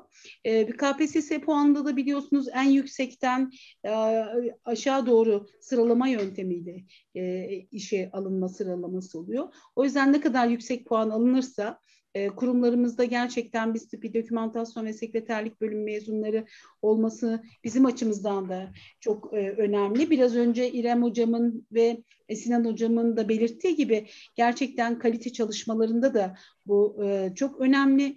Çünkü e, sağlıkta kalite standartları gereği biz de Sağlık Bakanlığı tarafından birkaç kez kalite değerlendirmesi geçirdik. E, ve biliyorsunuz ki kalite değerlendirmesinde döküman yönetimi de çok önemli. Ne yaparsanız, hangi işi yürütürseniz yürütün, onu mutlaka e, dokümante etmeniz gerekiyor. Nasıl bütün prosedürlerinizi, formlarınızı ona göre e, uygulamanız gerekiyor. Biz yöneticiler açısından da bilmediğimiz, ölçemediğimiz, hiçbir şeyi yönetemeyeceğimizi de çok iyi biliyoruz gerçekten. Yani bunu çok iyi deneyimledik. Ee, şimdi yeni çalışmalarımızda da biliyorsunuz sağlık turizmi gibi faaliyetleri de yürütmek amaçlı olduğunda da e, tıbbi dokümantasyon mezunlarının önemi bir kez daha çok önemli. O da Barış Hocam'ın da söylediği gibi hasta karşılamada da çok çok önemli. Özellikle profesyonel e, bilgi yönetimini yürütecek kişilerin olması, yabancı dil bilmesi, empati kurabilmesi. Yani bu nedenle ben açıkçası öğrencilerimizin kendilerini bu açıdan da çok geliştirmeleri gerektiğini düşünüyorum. Zaten e, e, Ankara Üniversitesi de olsun, diğer fakültelerde de olsun gerçekten eğitim süreciyle ilgili hiçbir sorunun olmadığını, bu eğitim süreçlerinde çok iyi eğitimler verildiğini biz öğrencilerimizi hem birinci sınıf stajlarında hem ikinci sınıf stajlarında birebir e, gözlemliyoruz gerçekten. Ayrıca e, yani biz Ankara Üniversitesi Sağlık Hizmetleri Meslek Yüksekokulu e, tıbbi dokümantasyon ve sekreterlik bölümünü yakinen tanıdığımız için söylüyorum. Kendileriyle yürüttüğümüz projelerimiz olduğunu için de biliyorum. E, dersleri açısından eğitim süreçleriyle ilgili bir sıkıntı yok. Gerçekten bu konuda hocalarımızın da çok önce olduğunu düşünüyorum. Hani mesleksel e, dernekler, diğer e, de, e, çalışmalara ben de katılıyorum. Çünkü gerçekten Hacettepe Sağlık İdaresi mezunuyum. Bizim okulumuzun da böyle bir sıkıntısı vardı. Ancak geriye yönelik baktığımızda ben bunu öğrencilerimize özellikle bizi dinleyen bütün öğrencilerimize özellikle sesleniyorum. Her staja geldiklerinde de diyorum öncelikle hiçbir şekilde umutsuzluğa kapılmasınlar. Geriye yönelik şöyle baktığımızda 20 senelik e, e, mezuniyetimden sonraki 20 senelik hayatımda gerçekten bütün arkadaşlarıma baktığımda da hepsi çok güzel meslekler edinmişler. Farklı alanlarda akademisyen olanlarımız var. Bakın per, Perihan Hocam gibi idareci olanlar var. Birçok yönetim kademesinde çalışanlar var. Eminim ki bir dokümantasyon mezundaki e, öğrencilerimiz de öncelikle kendilerine güvenirlerse, kendilerini geliştirirlerse e, en önemlisi iletişim becerilerini çok iyi geliştirmeleri gerekiyor. O yüzden e, başarılı olacaklarına kesinlikle inanıyorum. Bütün oryantasyon ve staj eğitimlerimizde bunları dile getiriyoruz. Ve size çok katılıyorum İrem Hocam. Yani örgün eğitimle e, Barış Hocam'ın da dediği gibi dört yıllık e, dört yıl orada emek harcamış veya iki yıl orada emek harcamış öğrencilerin çok farklı yerlerde olması gerektiğini düşünüyorum. Ee, ben de bunu çok yaşadım. Devlet memuriyetine girdiğimde e, çok kıdemli oluyordu insanlar, çalışanlar. E, onlar lise olarak girmişler örneğin. Dört, e, dört yıl çalış, onlar dört yıl çalışmışlar. Sonra açık öğretim okumuşlar. Ben üniversiteden mezun olmuşum. Sonra onlar diyorlar ki aynı e, düzeyde ilgilenin. Aslında öyle olmuyor. Siz dört yıl orada e, Barış Hocam'ın dediği gibi örgün eğitimde emek harcıyorsunuz, zaman harcıyorsunuz. O insanlar orada hem çalışıyor hem okuyor. Açık öğretimden birebir veya e, örgün eğitimin mutlaka farklı bir yerin olması, bir üniversite ortamının, bir e, eğitim sürecinin mutlaka nefe, e, yaşanması gerektiğini düşünüyorum. O yüzden bence e, bu e, kapsamda gelecekte çok çok önem arz eden bu meslek grubunun çok iyi yerlerde olacağını düşünüyorum. Çok teşekkür ederiz e, cevabınız için. E, Barış Hocam'dan, Sinan Bey'den var mıdır e, konuda bir paylaşım? E, birkaç yine bu sertifika konusuyla ilgili yorum gelmiş fakat sanıyorum total bir cevap olmuş oldu. Tekrar e, aynı soruyu cevaplamamış oluruz. Buyurun Sinan Bey. Ee, şimdi diğer sorulara bakıyordum ben de. Sertifika ile ilgili Selcan Hocam açıkladı zaten. Bu sertifika ile ilgili var mı ekleyeceğiniz? Ee, ya arkadaşlarım evet benim de mesela e, söylemek istediğim o biz e, işte tıbbi sekreterlik mezunu dediğimiz zaman sertifika ile gelince o bölümü o arkadaş alınabiliyor. Ama bu bizim hani kurum olarak elimizde olan bir şey değil. O bölüm mezunu gibi algılanıyor. Ee, arkadaşların dertlerini anlıyorum. Sertifika durumu eğer yasal yollarla engellenirse önleri ve istihdamları daha da çoğalacaktır diye düşünüyorum. Barış Hocam var mıdır sertifika konusuna ekleyeceğiniz bir şey? Ya e, çok bir şey yok. Yani şöyle ki e, hani burada e, şey de yapmak istemiyorum işin açıkçası. Hani insanlar e, neticede sertifika alan insanların hani böyle bir tukaka pozisyonuna sokmak gibi bir derdimiz yok bizim burada elbette ki. Hiçbirimizin öyle bir derdi yok ama burada mesleğe e, sahip çıkma gibi bir derdimiz olabilir. Evet. E, ve bunu da ancak işte e, bir e, dernek kurularak, mesleki bir dernek, bir e, örgüt kurularak e, bu sorunları ancak bu şekilde çare bulabiliriz. Hukuki olarak işte siyasi erkle görüşülebilir. E, işte mesela anesteziciler, anestezi teknisyenleri e, bu konuda mesela örnekler. E, bayağı e, şey yapıyorlar dernekleri falan. Kendi mesleklerine sahip çıkıyorlar. Hastanelerde kendi mesleklerini e, yapan diğer meslek e, gruplarıyla falan çatışmayı göze alıp e, çatır çatır e, haklarını savunabiliyorlar. Yani ancak bu şekilde e, bunun önünü kesebiliriz diye düşünüyorum. Hani başka yoksa e, şey e, hani bu sertifika ile iş yapmanın sertifika ile, ile eleman alımının önüne çok da geçileceğini düşünmüyorum. Teşekkür ederiz. Ee, yani Yusuf Kırdar da benzer bir şey sormuş ama aynı derecede miyiz diye sormuş ama aynı derecede olmadığınızın bence farkına varım. Bu bir soru bile olmamalı. Asla aynı derecede değilsiniz tabii ki sertifika alanlarla. Ee, Sercan Barış Bey'in, Barış Hocam'ın ve Sinan Bey'in de e, söyledikleri gibi lütfen kendinizi bu konuda e, kendi haksızlık en azından siz etmeyin. Başkaları ediyorsa da siz etmeyin diye düşünüyorum.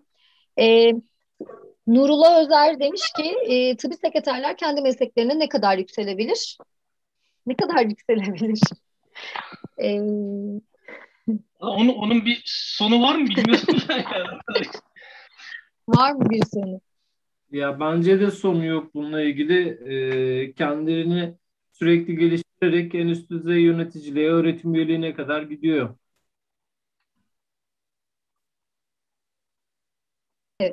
Ee, Özlem Akıllı Tarsus Üniversitesi'nden e, katılıyormuş. E, HDS bölümü birinci sınıf öğrencisiymiş. E, Selcan Hanım'a sorusu var. E, eğitim dönemi, eğitimden sonraki iş arayışı dönemi ve iş bulduktan sonraki dönem kaçınılmaz bir stres oluşturmakta. Hastane çalışanlarınıza psikososyal araçlar kullanarak ne tür motive edici yöntemler ile destek sağlıyorsunuz? Teşekkür ederim. Güzel bir soru. Buyurun. Biz e, mutlaka oryantasyon sürecini tamamlattırıyoruz tabii ki hastanemize başlayanlarla ilgili. Bütün çalışanlarımıza bir eğitim süreci de başlıyor. Çünkü hastaneler biliyorsunuz aynı zamanda en tehlikeli e, alanlar da olduğu için öncelikle iş sağlığı ve güvenliği ile ilgili eğitimler planlıyoruz. Daha sonra oryantasyon süreçlerimiz başlıyor. Burada tabii ki motivasyonla alakalı panellerimiz olabiliyor, e, psikososyal desteklerimiz olabiliyor. E, daha çoğunlukla maddi değil ama manevi e, olarak eğitimler planlanabiliyor. Çünkü gerçekten hastanelerde her alanda çalışmak e, ve bu tıbbi sekreterler için de geçerli, diğer meslek grupları için geçerli. E, çünkü hastaneler 7-24, 365 gün çalışılan alanlar olduğu için e, bu e, anlamda psikososyal destek gerçekten çok ihtiyaç duyulabiliyor. O yüzden e, biz e, mümkün olduğunca kendi içimizde öncelikle bu gibi oryantasyon programlarını e, devam ediyoruz. Daha sonra dış destekli programlarımız da olabiliyor mümkün olduğunca e, bu e, destekleri sağlamaya çalışıyoruz. E, kendi üniversitemizin değişik alanlarında değişik eğitimcilerimiz var biliyorsunuz. Onların da bizlere çok büyük desteği oluyor. Örneğin biz mesela e, tıbbi dokümantasyonla ilgili e, sıkıntı yaşa, yaşadığımızda veya bir ihtiyaç duyduğunda veya bir eğitim ihtiyacımız olduğunda bu konunun uzmanlarından yardım istiyoruz. Örneğin Perihan hocamlar geliyor veya e, başka bölümlerle ilgili bir e, örneğin sağlık kurumları ile ilgili dahi planlarınız olduğunda sağlık kurumları yönetiminden uzman hocalarımızdan. Çünkü siz alanlarınızda uzman olan kişilersiniz. Biz alanda çalışıyoruz ama siz de bu konuyla ilgili akademik olarak uzman olan kişiler olduğunuz için onlardan oryantasyonla ilgili, bu sosyal destekle alakalı, psikodestekle alakalı destekler alıp yeni başlayanlarımıza da bu sürece uyum sağlatma sürecinde de hep destek oluyoruz ve bunu süreklilik haline getiriyoruz. Çünkü gerçekten hani bir kere verip yeterli olmayabiliyor. Sürekli yeni gelişmeler olabiliyor, yeni motivasyon bozuklukları olabiliyor. Onun için çalışanlarımızın motivasyonunu sağlayabilmek amaçlı da hem yeni başlayanlara hem de sürecin içerisinde olanlara sürekli tekrarlı şekilde bu gibi destek e, programlarımız da oluyor. Teşekkür ederim cevabınız için. Medikal Park'ta ve Başkent e, Üniversitesi'nin Ankara Hastanesi zannedersem ismi. E, bu tarz bir uygulama var mıdır e, Barış Hocam, Sinan Bey? Evet, bizim e, hastanemizde de çalışan arkadaşlarımıza yönelik olarak e, bu tür şeyler üniversiteden de yararlanarak e, motivasyon e, şeyleri, eğitimleri, çalışmaları sürekli olarak yapılıyor. Evet, bizde de rutin olarak yapılan bir çalışma. Teşekkür ederiz. Evet, özel ve kamu ayağında bu konuda destek alınabildiğini en azından e, bugün bir kere daha duymuş olduk. Nurullah Özer e, demiş ki dijital hastanelerin gelişmesiyle tıbbi sekreterler üzerindeki sorumluluklar ve görev çeşidi değişir mi? Bu görev değişiminde sizce sekreterler ne biçim roller alacaktır? Nasıl roller alacaktır? E, diye bir e, soru sormuş. Ya o, ona ben kendimce bir cevap vermek isteyeyim. Mesela ben sunumumda da bunun üzerine e, birazcık e, ağırlık e, vermek istedim işin açıkçası. E, şunun için e, hani bu Dünya Sağlık Örgütü de tabii ki e, dijital sağlık ve dijitalleşme e, dediğimiz tırnak içindeki kavramı ki bu kavramı e, çok insanlar netleşmemişler henüz bu kavram e, üzerinde. Yani bilişimciler e, çok farklı bir şekilde bunları tanımlayabiliyorlar falan ama netice itibariyle e, bilişim teknolojileri diyelim hani çok genel bir kavram olarak kullanalım. Bütün hastaneler bunları kullanmak zorundalar zaten. Yani bunu kullanmazsan eğer e, kurumsal olarak zaten geri kalırsın. Yani bu birinci kısmı. Ya bir diğeri ama benim de bahsettiğim gibi şimdi e, ne kadar çok e, teknik olarak ne kadar çok e, gelişirsen e, aslında bu insan e, emeğine olan yani e, nitelikli insana olan e, ihtiyacı e, şu an için konuşuyorum. Yani gelecek için konuşamam. Belki robotlar, robotlar falan ortaya çıktığı zaman bu yapay zeka ile falan analitik düşünen makineler ortaya çıkmadığı sürece e, özellikle de hastanelerde e, insana olan ihtiyaç e, halen daha e, şey e, kalıcı bir ihtiyaç. Yani görevleri daha da çok artıyor insanların, çalışan insanların. İyi bilgisayar kullanmaları gerekiyor. Sosyal medya çok önemli. E, bunları hep takip etmek gerekiyor. Kendini geliştirmesi gerekiyor. Yani e, işte teletıp uygulamaları hastanelerde geçerli artık bu, bu tür cihazları kullanması gerekiyor. Bunların hukuki boyutları var. İşte kişisel verilerin e, korunması ile alakalı biliyorsun sağlık verileri, hassas veriler e, bu şekilde dijitalize edilmiş veya dijital ortamlardaki e, verilerin bir de hukuki sorumlulukları var. Yani bu da gene e, hasta danışmanlarının tıbbi dokümantasyon süreçlerinde çalışan insanların üzerine binen yükler. E, hekimin e, bir sürü sorumluluğu var. Kuruma karşı sorumluluğumuz var. Bu hasta bilgilerini koruma anlamında. E, demek istediğim şu. Dijitalleşmeyle birlikte, teknolojiyle birlikte aslına bakarsanız e, bizim çok çoklu yani bu e, arkadaşların çoklu görevleri artıyor. Görev sayıları artıyor. Yani e, evvelden tıbbi sekreter belki bir telefona bakıp deftere bir randevu yazarken şimdi telefona bakacak, e, maillere bakacak belki de. Öyle değil mi? Yani e, hasta randevularını ay- ayarlamaya çalışacak. Yani bir sürü daha, daha da çok artıyor. Belki de sosyal medyadaki e, hastanesiyle ilgili, hekimiyle ilgili bir tartışmayı takip edecek. Bu e, hasta e, pilot platformlarında neler konuşuluyor, neler söyleniyor, ne tür eleştiriler var bunları takip etmesi gerekiyor. E, yani netice itibariyle e, şu, şu an için bence e, bugünkü koşullarda işte teknolojik gelişmeler e, insana olan şeyi yatsımıyor. Aksine şey daha çok insana ihtiyaç var. E, insanın kendini daha çok geliştirmesine ihtiyaç var. Çünkü bunları kullanmak için e, öğrenmek gerekiyor, emek harcamak gerekiyor. Yani sosyal medya kullanımı, işte bilgisayar kullanımı, ne bileyim telefonlarımızı kullanım. Kullanımdan kasıt tabii ki e, şey değil yani nitelikli anlamda etkin olarak e, kullanmaktan e, bahsediyorum. Onun için de bence hiç bu konuda telaşlanmasına gerek yok. E, kendini her konuda yetiştirsin. E, çok fazla ihtiyaç var insana yani yetişmiş insana ihtiyaç var. Teşekkür ederim. Ee, diğer katılımcılarımızın var mıdır bu konuda eklemek istedikleri bu dijital e, süreçte tıbbi sekreterlerin ayağını kaydırıyorlar mı?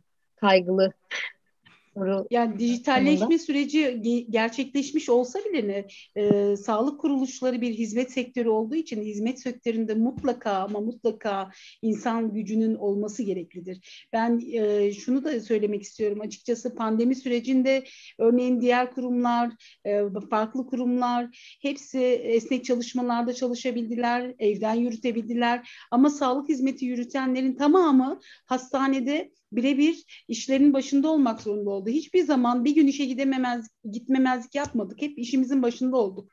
Neden?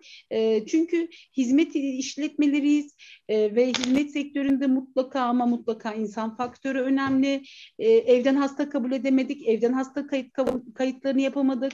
Mutlaka ama mutlaka sağlık hizmetine duyulan ihtiyacın e, azalmayacağına göre ki pandemi devam edecek, sağlık hizmetine duyulan ihtiyacın artması kayıt işlemleri ve döküman yükünü de beraberinde getirecektir mutlaka ki. Bu sebeplerden dolayı da tıbbi sekreterlik mesleği giderek bence daha çok önem kazanacaktır. Çünkü sağlık e, şartları, sağlık e, sağlık hizmetine duyulan ihtiyaçlar gün geçtikçe de artacaktır. Bu nedenden dolayı böyle bir şey olmayacaktır. Artı dijitalleşme sürecine geçilse dahi örneğin dijitalleşme süreçleriyle ilgili çalışmalar yapılıyor ama Bence sağlık e, bazı kayıtlarında ki Barış Hocam daha iyi bilir. Sa- bazı sağlık kayıtlarının özellikle adli makamlara sunulacak olan kayıtların hala ıslak imzalı ve ıslak e, onamların alınması, rıza belgelerin alınmasıyla birlikte hala biz geçemediğimiz e, kayıtlarımız vardır. Örneğin Avicenne'yi kullanıyoruz ama mutlaka hasta onamları olsun, e, yapılacak işlemlerle ilgili onamları olsun, ameliyat onamları olsun veya e, radyolojik e, tetkik onamları olsun. Bunların mutlaka ıslak imzalı, mahkemeye sunulacak belgeler olsun. Bunların e, mutlaka döküman şeklinde olması gerekiyor. Artık kalite standartları gereği de biliyorsunuz eskiden e, çok az belgemiz varken şimdi belgeler, formlar, prosedürler her bir işleme ayrı prosedürler üretilmesi gerekiyor. Yönetim kademesinde bizler e, biliyorsunuz e, öz değerlendirmeler yapıyoruz kendimiz kendi içimizde kendimizi değerlendiriyoruz. Sağlıkta kalite standartlarına göre Sağlık Bakanlığı bizi denetlemeye gelmeden önce bizim nelerimiz eksik diye öz değerlendirmeler yapıyoruz kendi içimizde kalite gruplarımızla birlikte. Kalite çalışmaları gereğinde bu öz değerlendirmeler sonucunda hangi alanlarda neler iyileştirilmesi gerektiğini için e, önleyici, düzenleyici faaliyetler planlıyoruz. Ve bunlara ilişkinde örneğin diyelim ki arşivde bir faaliyete ilişkin eksiklik tespit ettik. Bununla ilişkin nasıl bir prosedür geliştiririz, nasıl bir form geliştiririz diye yeni dokümanlar üretiyoruz ve bunları mutlaka döküman sistemine kaydedip döküman numarası vererek QDMS sistemimizde e, yayınlıyoruz ve bütün personelimiz oradan e, bu QDMS sisteminde tanımlı olan kişiler ulaşabiliyor ve bu dökümanın her yerde iki, her iki hastanemizde de ortak kullanım açılıyor. Yani dökümanın azalacağını, bu meslek grubunun e, önem kaybedeceğini ben asla düşünmüyorum. Teşekkür ederim. İrem Hocam. Buyurun e, Perihan Hocam. Müsaade ederseniz bu konuda Buyurun. benim de e, sor, sor, soruyu bir sonraki soruya geçmeden e, söyleyeceğim birkaç şey var. Buyurun e, eminim aramızda çok değerli hocalarımız ve görüşleri olan e, hocalarımız da vardır. E, onlar da katkı verirlerse çok seviniriz elbette. E, benim bu konudaki görüşüm şöyle, e, sağlık evrensel bir e, hizmet alanı. E, sağlık kurumları evrensel kurumlar ve e, tarih boyunca varlığını devam ettirmiş e, ve devam edecek bir alandan söz ediyoruz. Yani insan var olduğu sürece e, sağlık hizmetine ihtiyaç duyacak bir e, organizmadır e, ve bu hizmeti verirken de e, daha uzman, daha profesyonel bireylerin bu sektörde çalışmasına ihtiyaç duyulacaktır. E, dolayısıyla öğrencilerimizin böyle bir endişe hissetmeleri evet bir miktar belki ülkenin içinden geçtiği koşullar düşünüldüğünde anlaşılabilir ancak mesleki olarak baktığımızda ve bizler de e, yaklaşık ben de 20 yıldır e, tıbbi dokümantasyon alanında eğitim veren bir hocayım. E, sağlık alanında e, yine e, 7-8 yıllık bir e, alan deneyimim var. Bunlara dayanarak söylüyorum ki e, çok önemli bir yol kat ederek bugüne gelmiş bir meslekten söz ediyoruz ve bugün kutladığımız e, gün Dünya Tıbbi Sekreterler Günü. E, e, dünya coğrafyasının diğer e, bölgelerinde e, çok sayıda mesleğe uzmanlaşarak ayrılmış bir alanın çatı eğitimi eğitimini biz burada veriyoruz ve onun e, meslek alanının e, meslekleşme sürecinden söz ediyoruz. Dolayısıyla e, dünya ile kıyaslandığında henüz e, biz e, meslekleşme sürecini tamamlamamış olmanın sancılarını belki yaşıyoruz. Öğrencilerimiz de bu endişeyi, bu kaygıyı yaşıyorlar. Ama temin ederim ki onları e, önümüzde çok daha aydınlık ve gerçekten sizin uzmanlığınıza saygı duyulacak, e, istihdamınızın çok daha hak ettiğiniz şekilde gerçekleşeceği yıllar önümüzde bizi bekliyor, sizi bekliyor. E, bu noktada Barış Hocam'ın sözüne çok katılıyorum. E, önce kendinize değer verin mesleğinize değer verin ve değerinizin farkında olun. Bu çok önemli. Başkalarının size biçtiği değerle değil, kendi e, e, mesleğinizde gördüğünüz, algıladığınız ki bu eğitiminizin içerisinde size zaten aşılanıyor. E, e ben kendim için söylemeyeyim ama çok değerli hocalarınızın bunları size aşıladığını çok iyi biliyorum. E, lütfen o aşıdan yararlanın, ona güvenin. E, çok önemli ve güzel bir meslek alanındasınız yüzlerce profesyonel meslek, e, sağlık meslek grubundan bir tanesisiniz. E, ve e, sanırım hemşirelerden sonra da sağlık alanında en çok istihdam edilme olasılığı olan bir meslek grubusunuz. E, şu an hala e, sağlık sektöründe e, tıbbi dokümantasyon e, işlerini e, hekimler kadar hemşireler de maalesef halen e, üstlenmiş durumda devam ediyorlar. E, eğer doktorlarımızın ve hemşirelerimizin özellikle üzerinden bu hizmetleri alacak olsaydık e, emin olun şu anda herhalde mezun yetiştiremez olurduk sektöre diye düşünüyorum. E, burada evet sektörün sizin henüz hak ettiğiniz değeri vermiyor olması ile karşı karşıyayız ama e, dediğim gibi önümüzdeki yıllar bence çok aydınlık. Hiç karamsar düşünmeyin, karamsarlığa kapılmayın. Kendinize güvenin. Evrensel bir mesleğe sahip olduğunuzun lütfen farkında olun ve kendinizi evrensel standartlara göre geliştirmeye çabalayın. Ee, önümüzdeki yıllar, değerli panelistler de söylediler, önümüzdeki yıllar çok daha nitelikli insan gücüne ihtiyaç duyulacağını gösteriyor. E, bu noktada da esnek, teknolojiyi esnek şekilde uyum gösterebilen e, nitelikte çalışanlara ihtiyaç duyuluyor. E, sizin mesleğinizde teknoloji ağırlıklı, e, teknik bilgi gerektiren bir alan. Dolayısıyla kendinizi teknik anlamda, mesleki anlamda geliştirdiğinizde, yeniliklere açık olduğunuzda, okuduğunuzda, dünyaya e, açık bir pencereden baktığınızda, zihninizi sürekli açık tuttuğunuzda e, değil Türkiye'de, dünyanın her yerinde istihdam olanaklarınız e, bulunmakta. E, bu konuda e, dediğim gibi e, iyimser olmakta hepimiz e, herhalde fayda var diye düşünüyorum. Teşekkür ederim. Çok uzattım ama. Çok güzel anlattınız hocam. Ee, ben kısa tutarak sadece şunu söylemek istiyorum. Ee, dijitalleşme sizi mesleki anlamda tehlikeye sokmaz, sizi güçlendirir. Ne kadar arkanıza alırsanız o dijital beceri yeteneğini o kadar ön plana çıkacaksınızdır emin olun. Az önce eleştirdiğiniz hani öğrencilerimize söylemek istiyorum orada. az önce eleştirdiğiniz sertifikalı personel ve biz okumuş personel ayrımı dediğiniz şey işte bu noktada bence devreye girecek. Ne kadar donanımlı o halde olursanız o kadar ön plana çıkacaksınız. O yüzden hiç korkmamanız gereken şey birçok şey olabilir olabilir ama bu dijitalleşme değil bence. Ee, benim de nacizane fikrim bu yönde. Ee, bazı arkadaşlarımız puanlarını falan söyleyerek Sercan Hanım'dan bir e, kadro yorumu istemişler ama o biraz özel bir soru oldu. Ee, Barış hocama da maaşlar neden böyle e, gibi bir soru gelmiş ama keşke kendisine sorsalar eminim çok daha iyi bir durumda olurdu e, maaş durumları. O soruyu da e, ez geçeceğim ama Barış hocam cevap vermek ister misiniz? Bu kadar yetkiniz, donanımlıyız madem hastaneler için varız neden maaşlarımız düşük diye soruyorlar. Ya aslına bakarsanız Türkiye'deki hemen hemen e, her meslek sahibi insan almış olduğu maaştan e, şikayetçidir. Yani e, gene de benim bildiğim kadarıyla devlete giren bir tıbbi e, dokümantasyon sekreterlik programı mezunu e, kişi e, e, çok da yani Türkiye şeyine bakarsak eğer e, çok da kötü bir maaş almıyor biliyorum ama bizim ben bilmiyorum kaçta maaş aldık ben devlette de yani netice itibariyle bizim öğrenciler falan hep şey e, KPSS'ye hazırlanıyorlar devlete girelim e, diye. Ben hiç devlette çalışmadım bilmiyorum da yani e, soru burada nokta atışı sizeydi. E, arkadaşımız cevabı almıştır sanıyorum. Dernekleşme ile ilgili bir soru gelmiş. Demişler ki biz dernek kurabilir miyiz?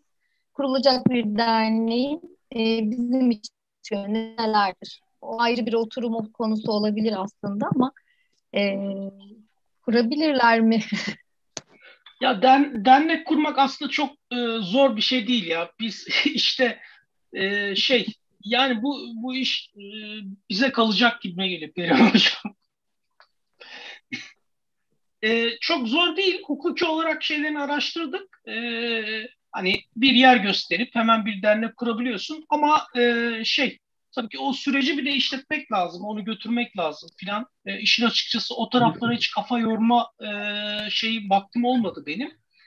E, anestezi e, Teknisyenleri Derneği'nden bir işte yönetimdeki bir arkadaşla e, sohbet etme olanağım olmuştu filan. E, hani böyle çok da şey değil işin açıkçası. Çok zor bir şey değil ya öyle söyleyeyim. Yani hukuki bir takım süreçleri filan var ama çok da zor bir şey değil. Onlar da kurabilirler. Yani Türkiye'deki herkes dernek kurabilir yani. Önemli olan niyete koymak herhalde. Evet, evet. Evet. E, Merve Kuas sormuş. Özel sektörle kamu sektörü arasında hangisini önerirsiniz? Size göre iyi olan veya kötü olan yönlerinden bahseder misiniz? diye bir e, soru gelmiş ama e, yoğurdum ekşi diyen olmaz herhalde şu anda. E, var mıdır bu konuda e, bir yönlendirmeniz öğrencilerimizin? Tüm konuşmacılarımız, panelistlerimiz için sormuş olayım. Valla ben ben devlette hiç çalışmadım. O konuda bir yorum yapamam.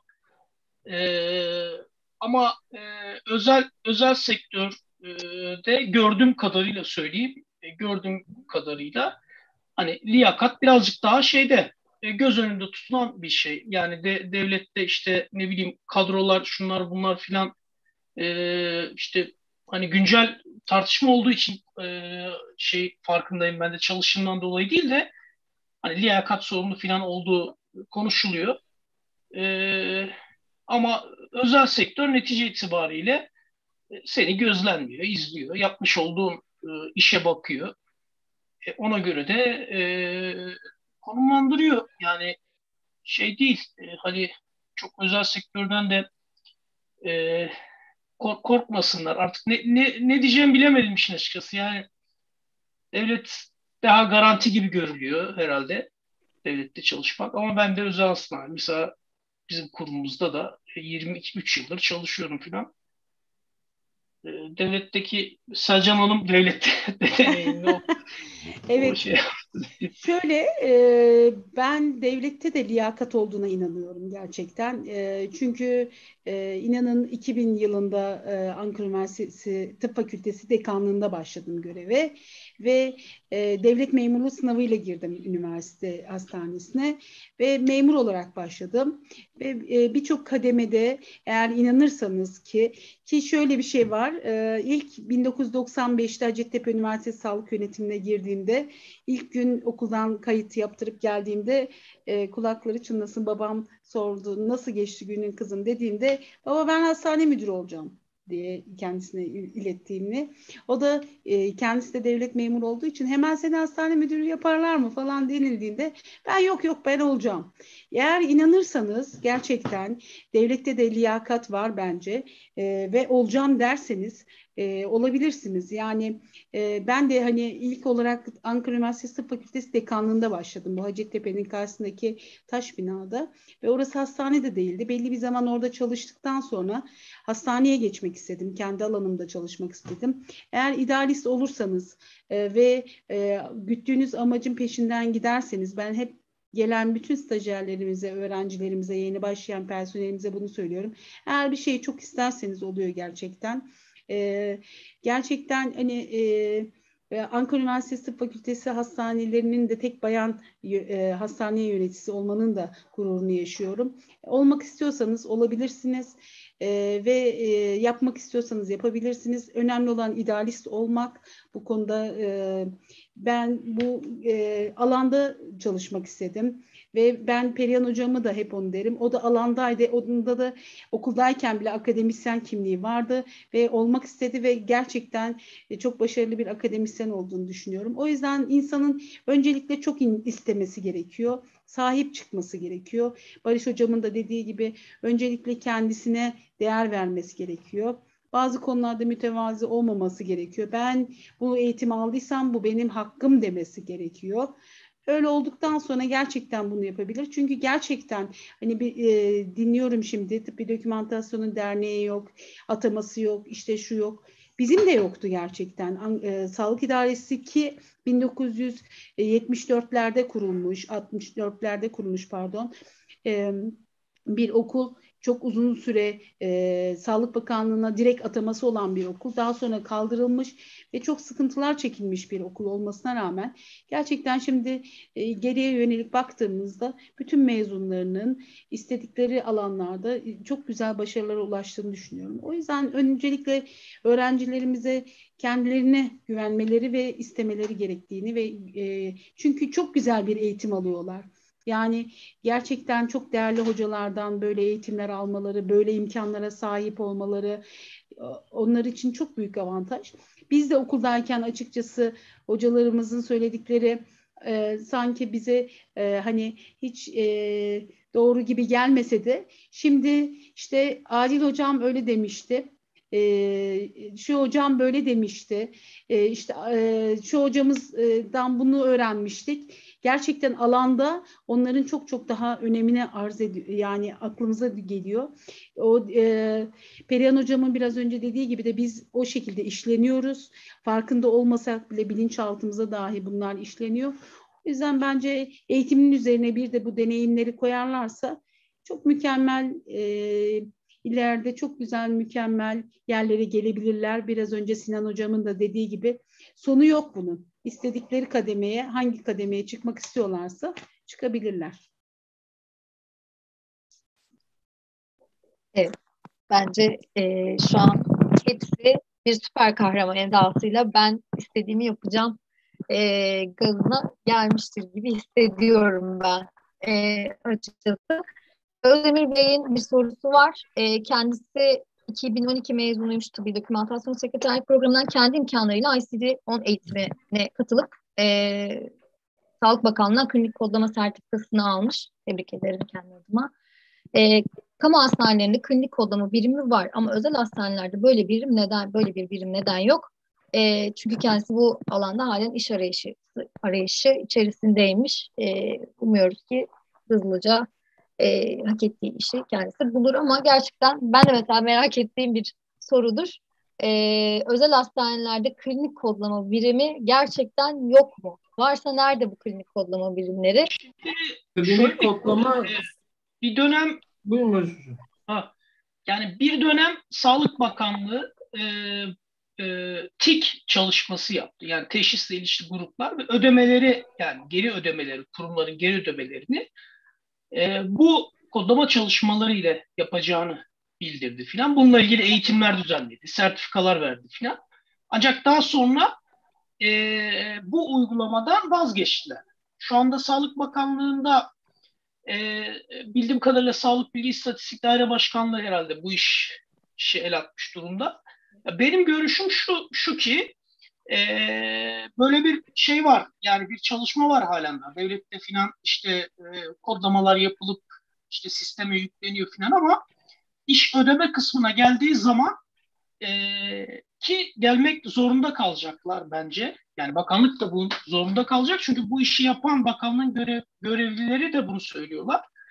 E, o zaman e, kendisini ararız biz. yani özelde olmamasının sebebi şöyle ki e, hani ödemeyi bununla yapmıyorlar. E, doğal olarak da bunu almıyorlar. Ama üniversite hastanesi yani vakıf hastanelerinde e, bu birimler zaten olmak zorunda. Üniversite hastanelerinden ziyade bizim gibi özel hastanelerde de klinik kodlama birimi olarak yok ama klinik kodlama sorumluları var. Yine Barış Hocam'ın dediği gibi bu eğitimler verilince biz e, bu birimlerde çalışan işte ICD-10 koduna daha hakim medikal muhasebedeki arkadaşlardan gönderdik. E, bununla ilgili sorunlar sertifikalarını aldı. Hani baktığımız zaman da bakanlık sadece klinik kodlama sertifikası olan, sorumlusu olan kişiler varsa buna e, uygunluk veriyordu. E, şu andaki süreçte beklemedeyiz. Hala klinik kodlamanın son hali verilmedi. Evet, e, teşekkür ederiz cevaplar için. Son bir e, soru alacağım. Sonrası artık e, teşekkür ediyoruz tüm soru soran, yorum yapan e, değerli akademisyenlerimiz ve öğrenci arkadaşlarımız için. E, Tarsus Üniversitesi'nden e, Nuh Mehmet Topkaraoğlu e, hocamız bir soru sormuş. E, uzun da bir soru hemen okuyayım. E, Tıbbi dokümanların evrilmesiyle ilgili bir sorusu var. Mobil cihazlar üzerinden verilen sağlık hizmetlerinin artacağı öngörülmekte. Mobil sağlık hizmetlerinin pazar payı günden güne artmakta. Akıllı saatler birçok sağlık verisini kaydetmekte. Öyle ki bir marka şu an EKG çekebiliyor. Ee, yakın tarihlerde bu gelişmeler sağlık sektörünün içine ister istemez girecektir. Peki sizce bu entegrasyon tıbbi dokümanları ve dokümantasyonu nasıl etkileyecek? Bu etki paralelinde meslektaşlarımızın hangi alanlarda uzmanlaşı, uzmanlaşması gerekecektir demiş. E, son olarak bu soruya da cevap isteyelim sizden.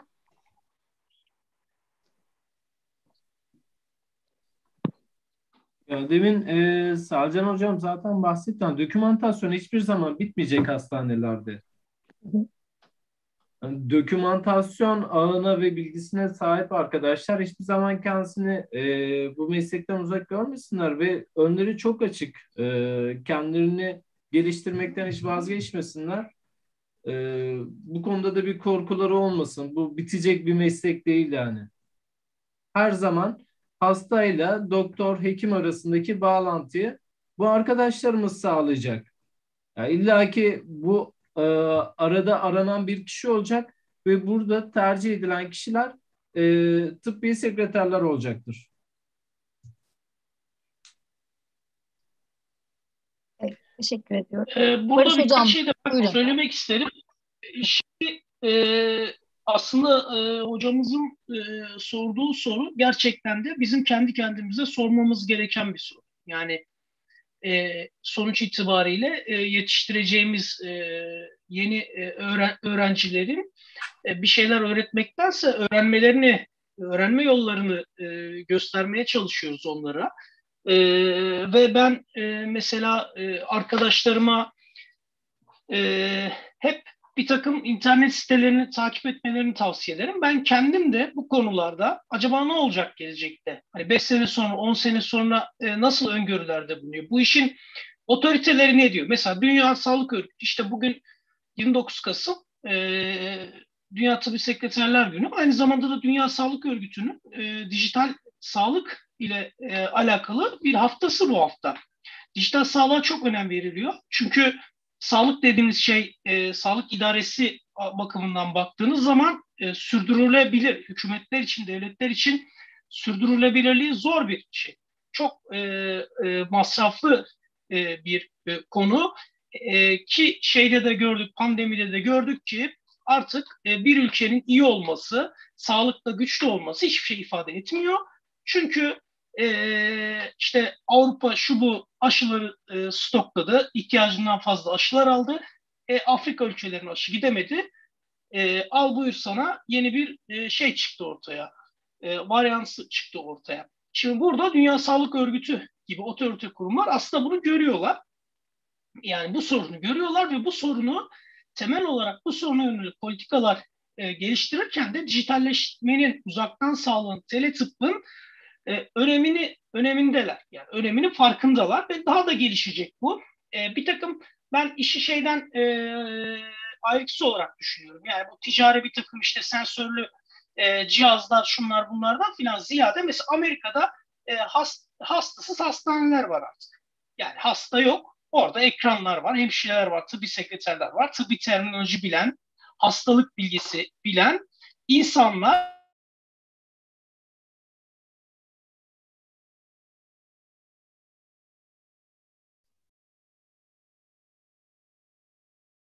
Sanırım bağlantı koptu. Ee, işte ben oku, okumaktan kastım budur. Yani günceli de takip edersen, işte e, okursan eğer e, netice itibariyle e, bunları görebil, görebilir e, öğrencilerimiz e, ve buna yönelik olarak da kendilerini geliştirebilirler. İşte bir sürü şey var. Aslına bakarsanız e, bu işin big data ayağı var. Sağlık yani hastanelerde o kadar çok bilgi var ki e, işin içinden çıkamıyorsun. Yani o o o veriyi o alıp da iş, iş, işleyecek adama ihtiyaç var. Yani SPSS kullanacak tıbbi dokümantasyoncuya, tıbbi sekretere ihtiyaç var artık. Anlatabiliyor muyum? Yani e, onun için de ya aslında eğitim e, süreci de şekillenecek bana kalırsa. Hani e, şey değil böyle artık kitabı olarak biz tamam tıbbi dokümantasyonu tanımını şunu bunu filan e, öğretiyoruz filan ama e, yani artık e, şey e, dünya değişiyor. E, biz hani bu hale nasıl geldik bunu bilin öğretirsek e, arkadaşlar öğrencilere geleceğe de nasıl bakacaklarını buradan görebilirler diye düşünüyorum. E, ancak ben böyle öngörülerde bulunabiliyorum. Yani şey yapabilir arkadaşlar. İşte bu hocamız da filan da işte e, bir takım e, uluslararası dernekler var. Onları takip edebilirler. İşte AHİMA var. İngiltere'de bir dernek var. Onları takip edebilirler. Oralarda konuşuluyor, yazılıyor, çiziliyor. Dünya Sağlık Örgütü'nün e, dijitalleşme e, birimleri var. Onları takip edebilirler. Artı bizde Sağlık Bakanlığı'nda da çok ciddi çalışmalar var. E, onları da takip edebilirler. E, birazcık daha e, bilince e, hani e, şey oluyor insan e, daha da rahatlıyor. Yani tamam güzel bir şey bu. Aa, ben bunu bununla da ilgili çalışayım ve bir şekilde o çalışma e, senin iş hayatına e, dönüyor. Çünkü hastanelerde de ihtiyaç oluyor. Yani teknoloji ilerledikçe, e, sağlığa bakış e, e, değiştikçe e, bunu takip edebilen insan, bunu anlayan insanlara ihtiyaç oluyor. Mesela geçenlerde işte e, şey tek sağlık kavramı tartışılmaya başladı. İşte Sağlık Bakanlığı bununla ilgili bir sempozyum gibi bir şey e, düzenledi filan. Dünya Sağlık Örgütü'nün Türkiye e, temsilcisi filan katıldı. Hani bu tür şeyleri takip ed- e, ederlerse eğer neye ihtiyaç olacağını e, kendimize nasıl ne yönlerde geliştireceğimizi de takip ederler edebilirler diye düşünüyorum. Evet, ee, İrem Hocam. Buyurun Perihan Hocam. E, e, şu an YouTube kanalımızdan bizi izleyen arkadaşlarımız da belki fark etmişlerdir. Son bir buçuk yıldır biz de Ankara Üniversitesi olarak e, çok sayıda e, toplantı düzenledik. Bu toplantılarda e, geleceğe dair e, öğrenci arkadaşlarımızın da e, hatta belki öğretim elemanı hocalarımızın da yararlanabileceği çok değerli oturumlar gerçekleştirdik. Bunların kayıtları e, Sağlık Hizmetleri Meslek Yüksekokulumuzun e, resmi YouTube sayfasında yer alıyor. E, bunlar da yol gösterici olacaktır diye düşünüyorum. E, bunun dışında Barış Hocam'ın dediği gibi e, yani dijital o kadar çok kaynak var ki kendimizi geliştirmek için mesleki anlamda da çok şey var. E, sağlık alanı ile ilgili gelişmeleri takip edebileceğimiz diğer meslek alanlarının da çok ciddi e, içerik ürettiği e, sayfalar var. Buraları da ziyaret ederek e, bir yerden başlanabilir diye düşünüyorum ben de. Teşekkür ederiz Beren Hocam. Ee, gerçekten oldukça faydalı e, sorunun soruyu açtığı ve e, böyle e, gerçekten bilgiden bilgiye geçiş yaptığımız oldukça e, keyifli ve faydalı bir e, panel olduğunu düşünüyorum. E, tüm panelistlerimize çok çok teşekkür ediyorum. Bu noktada ufacık bir e, teşekkür e, nişanesi olarak da Altınbaş Üniversitesi, Üniversitesi olarak sizler adına Tom Otizm Vakfı'na e, küçük birer bağışta bulunduk sevgili e, konuşmacılarımız. E, bunların e, basılı hallerini de daha sonra sizlere e, ileteceğim. E, tekrar kendi adıma çok teşekkür ederim. E, bir teşekkürüm de Perihan Hocama. E, biz Altınbaş Üniversitesi olarak e, ben Altınbaş'ta çalıştığımdan bu yana her sene bir şeyler yapmaya çalışıyoruz ama bu sene kendisini aradığında e, beni kırmadığı için e, kendisine ayrıca çok teşekkür ederim. E, tıbbi sekreter olan, tıbbi sekreterlik eğitmenliği yapan, akademisyen olan, e, bir şekilde yolu tıbbi sekreterlerle temas eden, e, idareci, yönetici, e, hastane tıbbi sekreterlerle birlikte çalışan herkesin e, tıbbi sekreterler günü, Dünya Tıbbi Sekreterler Günü kutluyorum. E, daha güzel yarınlarda dilerim ki daha güzel etkinliklerde e, tekrar bir araya geliriz. E, biz Altınbaş Üniversitesi ve Ankara Üniversitesi e, Sağlık Hizmetleri Meslek Yüksekokulu Tıbbi Dokümantasyon Sekreterlik programı e, olarak e, bu güzel etkinliğimizi sonuna geldik. E, tekrar katkılarınız için çok çok teşekkür ederim sevgili e, hocalarım e, diyeyim. Ve sözü son olarak Perihan Hocam'a bırakıyorum. Sizlerin de eklemek istediğiniz şeyler varsa e, tabii ki e, söz alabilirsiniz. Bu arada chat kısmından sorularını, yorumlarını, güzel dileklerini ileten tüm öğrenci ve akademisyenlerimize ayrıca çok teşekkür ederim. Perihan Hocam buyurun. Ee, ben de çok teşekkür ediyorum. E, panelistlerimiz bizi kırmadılar bu saate kadar, e, oturum sonuna kadar bekleyerek tüm sorulara cevap verdiler içtenlikle. Ben özellikle öğrenci arkadaşlarımızın çok faydalandığından eminim. E, bundan sonra eminim çok daha güzel etkinliklerde tekrar bir araya geleceğiz. E, izleyen e, hocalarımız ve öğrencilerimize de çok teşekkür ediyorum. Hem gösterdikleri destek ve sabır için e, hem de bu alana gösterdikleri ilgi için. E, ben de tekrar e, Dünya Tıbbi Sekreterler Gününüzü kutluyorum. İyi akşamlar diliyorum. Saygılar sunuyorum herkese.